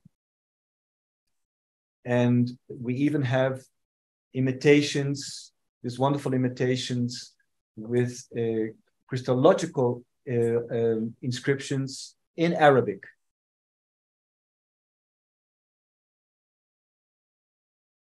And finally, in the 1260s, we see um, a large silver type coin, the Gros minted in Tripoli to your, to your right, which is minted in Tripoli until the Mamluk uh, demise uh, uh, the Mamluk conquest in 1289.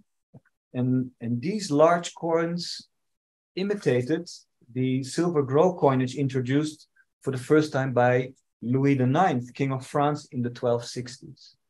So we see also reverse processes of coins that are reintroduced from the West into the East.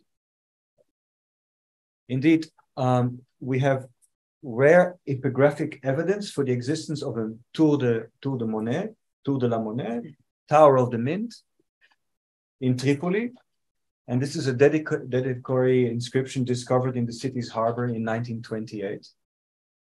And it mentions in the, the building or restorations um, of its ruler, Bohemond VI, of the mint of the commune of the people of Tripoli.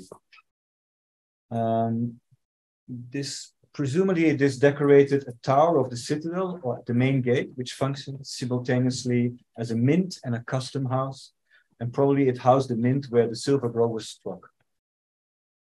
And this is basically my my introduction for you, my my my presentation, and um, hope you liked it, and I'm willing to help the questions.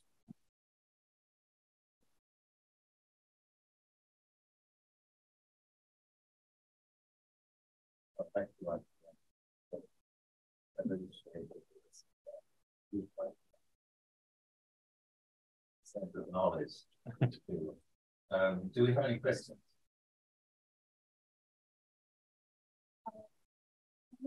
like when people arrive with their own money, they can use it here or they use it to change. Um, can you repeat the question? The question is when people arrive with their money, could they use their own money or did do they have to exchange it? Well, it's, it's an important question. But tell you honestly, we don't know. Probably in the beginning,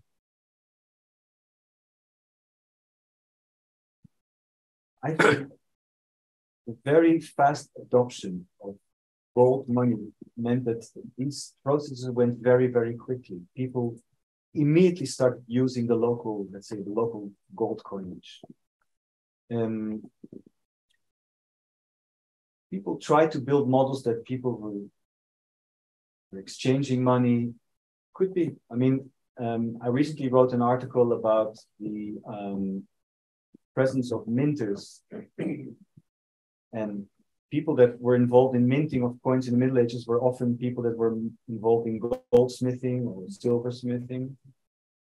And these people, we, we know of, of, of money exchanges that were situated near the, um, uh, we know this from texts that were situated near the, the Holy Sepulchre. I think these were the eastern ones. And we have the more west, the, the western, uh, the Frankish uh, money exchanges, were, which was sitting um, near the um, the street of David, where we where we walked uh, a couple of days ago. So so apparently of course, people came with money, and in the beginning there was a need for, for to, to, to be exchanged, and probably this became more and more important in from the 1140s onwards, when in in the Crusader states, basically, um, the rulers sort of um, instituted a kind of monopoly of um, minting their own coins. And this is a phenomenon that we also know from Western Europe.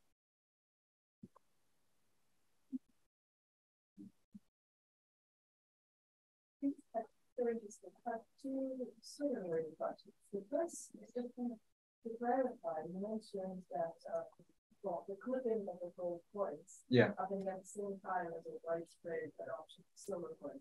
So what is the function of splitting lighting up the value of gold coins if there is no way to actually Okay. And the second question is now, to ask more generally about the gold program throughout this period. For instance, so I invented the good silver coins, presumably they'll stop with circulation lines, as opposed to all the silver that's not the computer, one much bigger out of the silver, and where the silver comes from. I mean, as far as you can tell. Okay, about the first question. Um, there's a pro- there's a very interesting process going on here. Suddenly, um, because in the Near East, in the Islamic Near East, around the uh, 9th century, suddenly copper coinage disappears. We don't know why. Somewhere around 850, copper coinage disappears. And then this process starts of um, how do you pay? How do you pay in, in small in small uh, fractions? So people start cutting up coins. And then in, in the beginning, people start cutting up uh, silver coinages, silver dirhams. And this process is I can't say that it's like a chronological first silver. I always thought it was first silver and then and then uh, gold. I still think it is a little bit, but we also see we see. I'm working on a Abbasid period hoard of the ninth century, and I and there also I see uh, uh, people basically cutting up uh, uh, um, dinars, uh, Abbasid dinars. But I think on on on on the whole, people start first cutting up silver later on during the 10th, 11th century, it becomes, as gold becomes more and more important, people start cutting up gold coins for small payments. silver coins? Presumably, point of that is that there's a lack of a lower. Yeah. Well, the absolute copper. I, I, okay, okay, I can understand what you're getting at.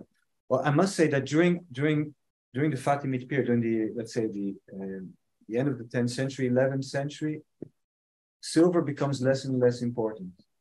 It's more and more gold. I mean, it's it's really is a gold economy. And when you when you also when you look at the at the Geniza uh, documents, you can see that people um, people um, mention basically only gold coinage, very very little uh, silver coinage. So gold is very important. About the second question, I didn't really understand what you were getting at. The, the question is where the silver coming from? Where the silver is coming from. So, as you said, gold is so important because silver is not in the market. So, the thing with bringing silver over from Europe sort of increases its purchasing power by bringing it over. Yeah. Again, I, I think during the during the 10th, 11th, 12th century, uh, as beginning of the 12th century, silver is not important in the Middle East. So it's, it's I don't know if it's such a relevant question. Um, but we know that by the second half of the 12th century, there's a lot of silver coming from Western Europe into the Middle East. Um, so that's that's a flow that go, goes from west to east. That's the it basically also allows Salahuddin, Saladin, to start minting his heavy dirham coinage.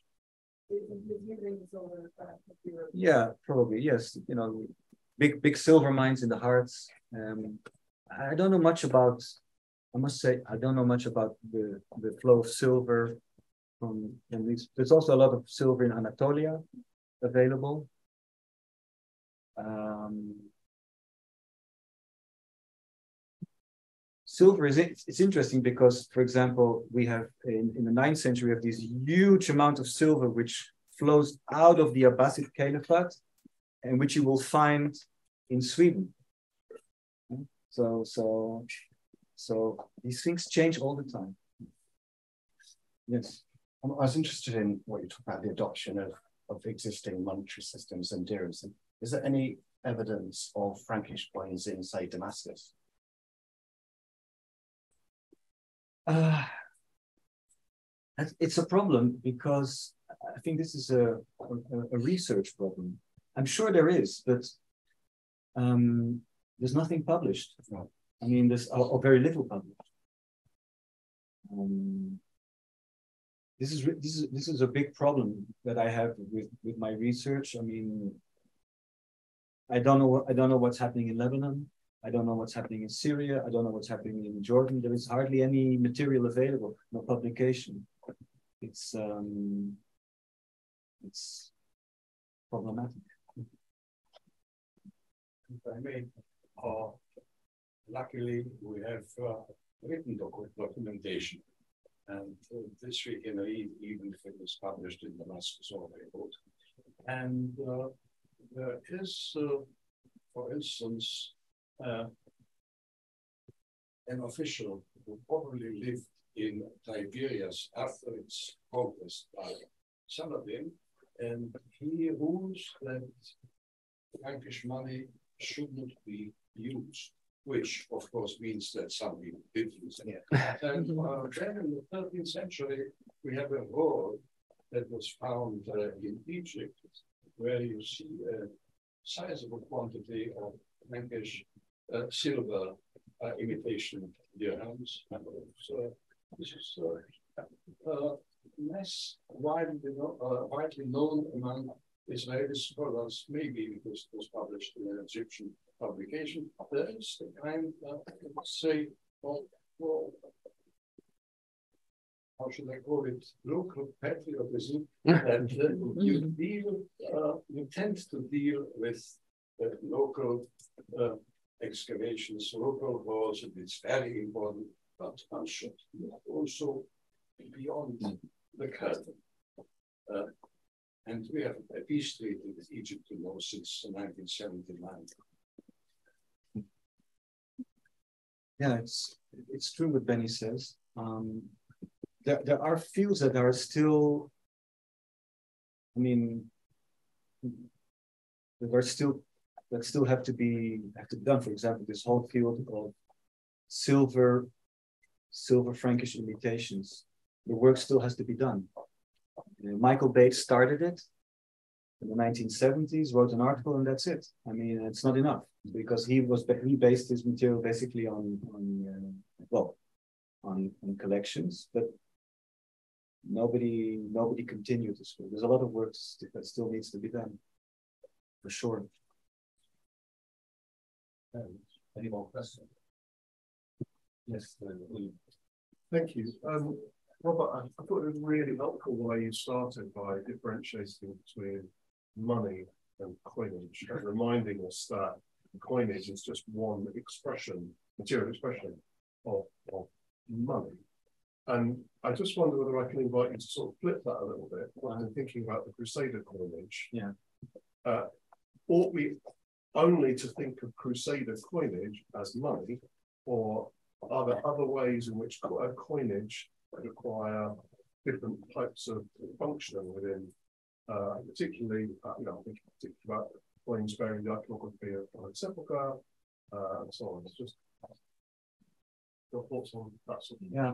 I, I, I really Yeah, yeah. No, I, for example, I, I really love, I really like what Michael McCormick wrote about the coin, the way he dealt, the way he saw, the way he deals with coinage in his research. I mean, he, he shows the coinages are, are like show connections between people, show connections between you know, or the, the movement of populations, or or, or goods, or it's, it's a different way of looking at coins, and maybe it's maybe maybe because there are so few of these coins like available in research, I think it's a, it's a wonderful way of looking at coin. Um, of course, the yeah, the study of um, uh, well, you know, the coins are are um, interesting platforms in terms of calligraphy, inscriptions, and I must I must say, you know, very few historians use the evidence of coinage in their research. I don't know why. I have no idea why. I mean, I'm, I mean, I, it's, it's it, it perplexed me because I'm an, I'm a, I'm an historian. I, uh, I was raised by by Benny. I started working. I started working for the um, um, for the um, uh, Israel for the Israel uh, Archaeological Service. It was sort of a strange guy there, you know. I'm a historian. We're all archaeologists, and um, but so I, I'm sort of a hybrid, you know, I, because and I, I feel that it's very important to use this kind of material, not just for numismatic research, you know, like deep numismatic. I mean, coinage are such interesting platforms for information about a lot of things. Just from working with colleagues in the Museum of of St. John in London, yeah. they've got quite a substantial collection of Crusader coins and Holy Sepulchre coins, the Amalric ones that we showed yes. And one of the things that I noticed when looking at the coins is that the pattern of wear on the iconography of the Holy Sepulchre is quite significant. Now, there could be all sorts of reasons for that, which I would speculate that it's an amuletic function and that it's a, it's wear acquired having you know, been rubbed. But you know, that's a speculation. Mm-hmm. But I think it points to the different ways in which coins might function within the society. Yeah. I, I mean, I, I wrote in my, in my doctorate also, like the experience of the Holy Sepulchre rotunda on a coin is quite revolutionary. You know, I mean, a monumental building on a on, on, on a coin. Look at Western coinage. You won't find you won't find something like that. I mean, so, and again, I, I return to um, the concept that Gil talked about flexibility and the adoption of certain things or, or the, the, the readiness to adopt certain certain iconographic um, um, designs on on coin. It's it's quite it's quite interesting. Does it stimulate emulation in other Western kingdoms? I mean, I, I don't know about Western coinage at all, but, but, but how, how, how far does that representation? Well,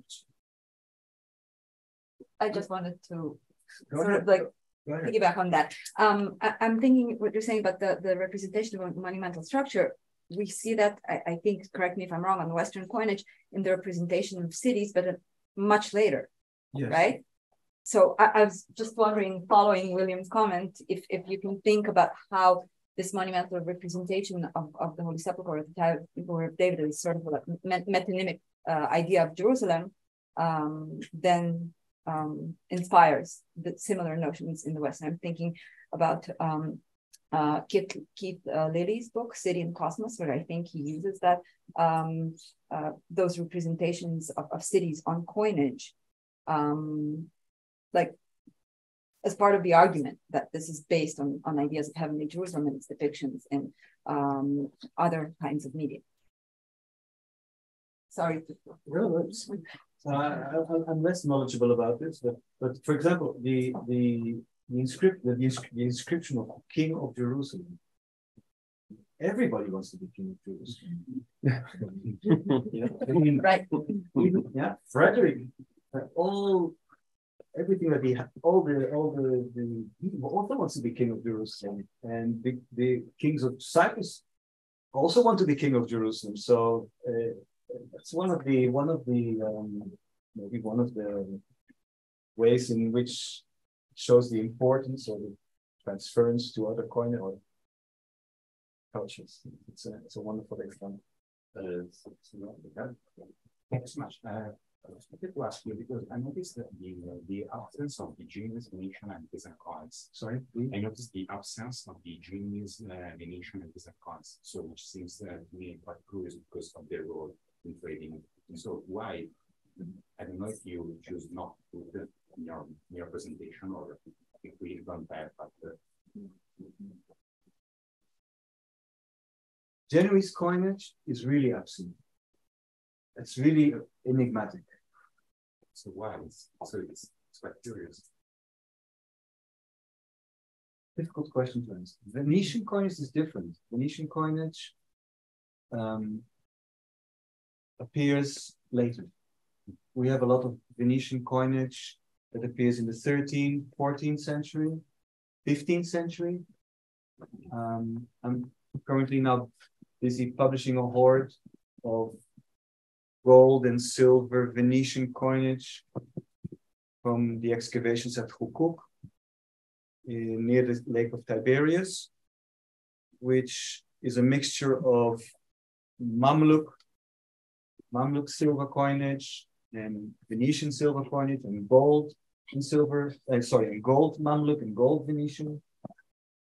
So that's 15th century. We also have from the 14th century. Very little from the 13th century, very little. I mean, the grosso was invented basically at the beginning of the of the of the uh, of the 13th century. Um, basically connected to uh, the Fourth Crusade, to pay for the Fourth Crusade. But in terms of fines, we we we we, don't find that much Venetian coinage. Genoa, no coinage. And Pisa either. Pisa, yes. Pisa, no, not not from Pisa, but we have the coinage from um, from Lucca. We, we we have a lot of coinage from Lucca, which was an important coinage up to the 1180s in that area, and apparently was used by by by the merchants from Pisa also. But again, I, I think being a person that works with coins, coins are also sort of myopic because probably, as I said, most of what we know about trade and it was not wasn't paid in, in coins. Coins are only a small fraction of the actual means of exchange that we use. Follow up, uh, do you find any I think one, I think one, we have one, something, but from the 11th century. So. Sorry? Until they mentioned the process, no, no, we, we, we don't see that. It's, it's not. No. No, we see a lot of coins from uh, a big group of coins from what is a big uh, from Lucca, uh, northern Italy, and we see uh, quite a few coins from southern France, from Valence. These are two two groups of coins which are um, which we do find in in in sites in, in, in connected to the to the Crusader period in Israel. This has been this, is, this has also been shown in in in hoard evidence earlier by by scholars in, in, in Western Europe, Michael Metcalf and others.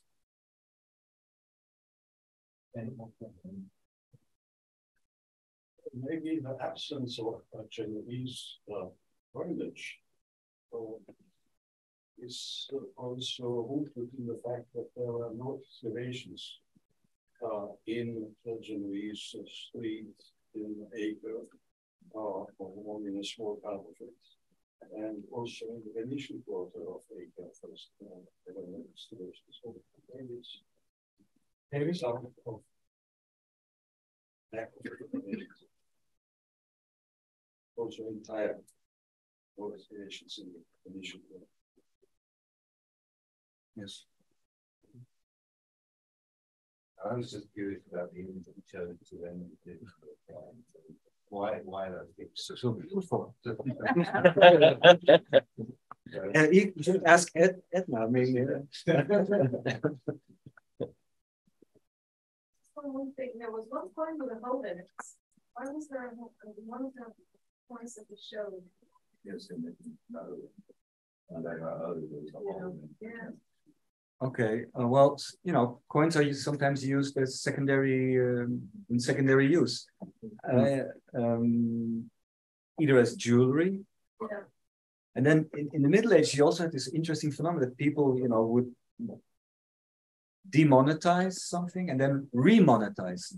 I mean, you know, it was it's because maybe people had a different concept of money than we have. You know, I mean, coins are so freely available for us think about it. You know, I mean, billions of coins. I mean,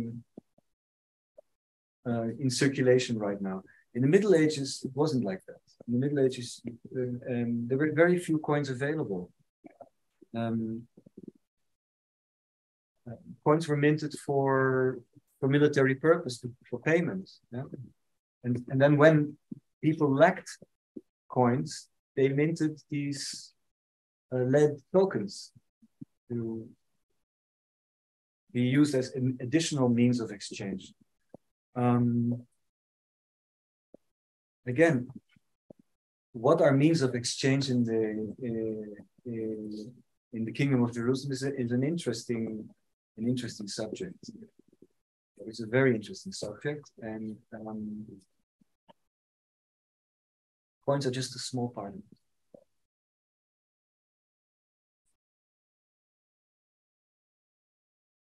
So I think we'll once again say thank you to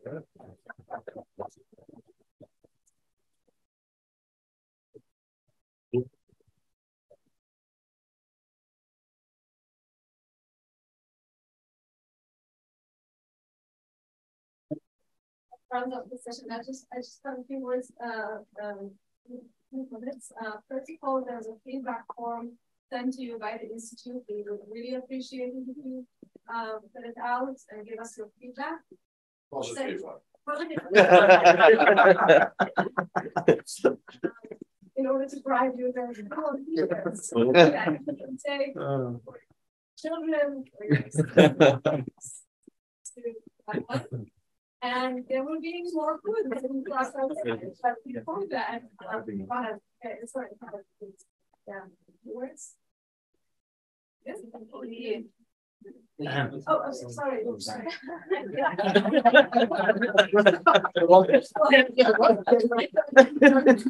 Yeah, white guys with brown hair, we all look alike.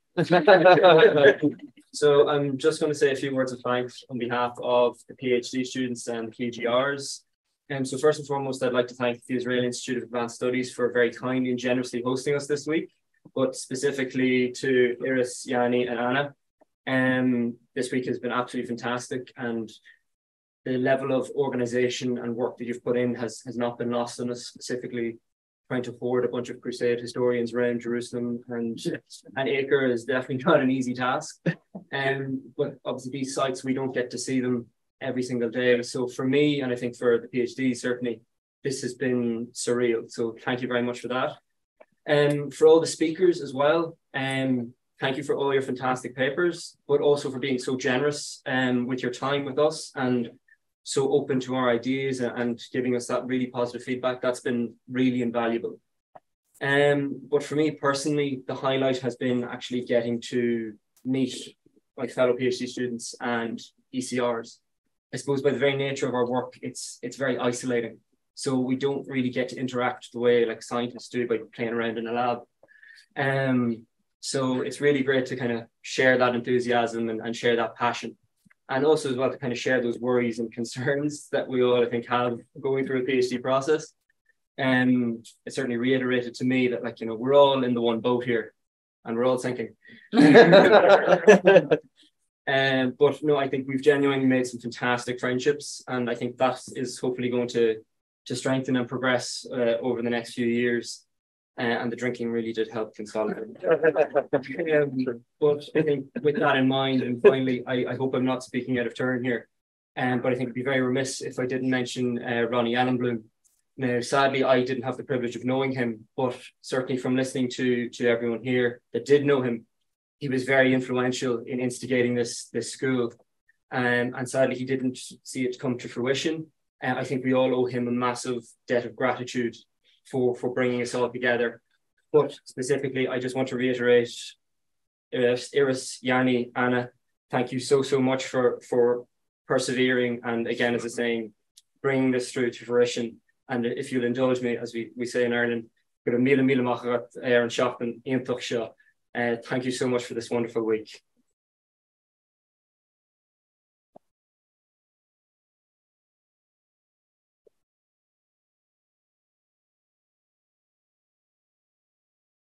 Uh, well, follow that. Uh, Iris uh, has given me the, the, the, privilege of saying a few words of uh, concluding remarks as well.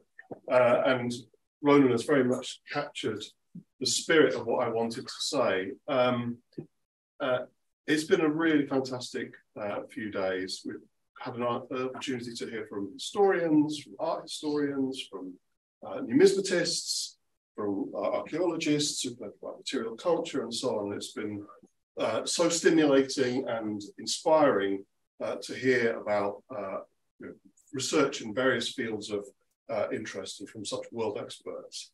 And I think just to echo what Ronan has said about the other thing we've had the chance to do is to, to see, uh, to smell, to hear the places that so many of us study. And that's really an opportunity that will be, for some of you will have the first time to do it, and I hope it'll be the first of many. Wandering around Jerusalem, wandering around Acre, you know, it's, it's uh, there's nothing quite like it. Um, and I think we should all be so grateful for the opportunity uh, we've had. Um, I really hope, and I think Ronan's captured this already, that you found the week's discussions every bit as interesting and rewarding as I have. But I'm also really grateful and glad to hear what Ronan said about the opportunities you've had to meet and get to know one another. Because the thing I really wanted to say is really to come back to what Professor Kedar was talking about on Sunday in terms of tips uh, for research in Crusade studies. And the one thing I would want to add to that list is always remember the importance of fellowship. Um, you know, Jonathan showed us yesterday that photograph of me and uh, him and Iris and Ronnie and uh, Netta uh, in January 2018, where we were talking about, you know, we had lunch together and Ronnie was pitching this idea of uh, this event today. And yeah, there are people in this room who knew Ronnie much better than I did. But I know from that conversation and other conversations that I have with him that fellowship and collegiality were qualities that were, you know, essential uh, to Ronnie. And I like to think that we we honour him in modelling that um, between us uh, here, colleagues and people in this room I've known for many years. Some people I've only met for the first time this week. I hope this will be the first of many, many occasions where we and you get together, talk with one another, enjoy one another's company, uh, and learn from one another. Because, as, as Ronan says, this is a collaborative uh, effort that we're engaged in here. And I think, you know, I, I've heard other colleagues say this in the past, but I think there is something distinctive about our field, is that there is a particular uh, esprit de corps, if you like, among uh, colleagues who work in our field. And I, think I've really felt it this week. Um, I'm sure you have as well. Uh, so uh, two things by way of wrapping up. Just again, to thank so much Iris, Yoni and Anna. Perhaps you could join me.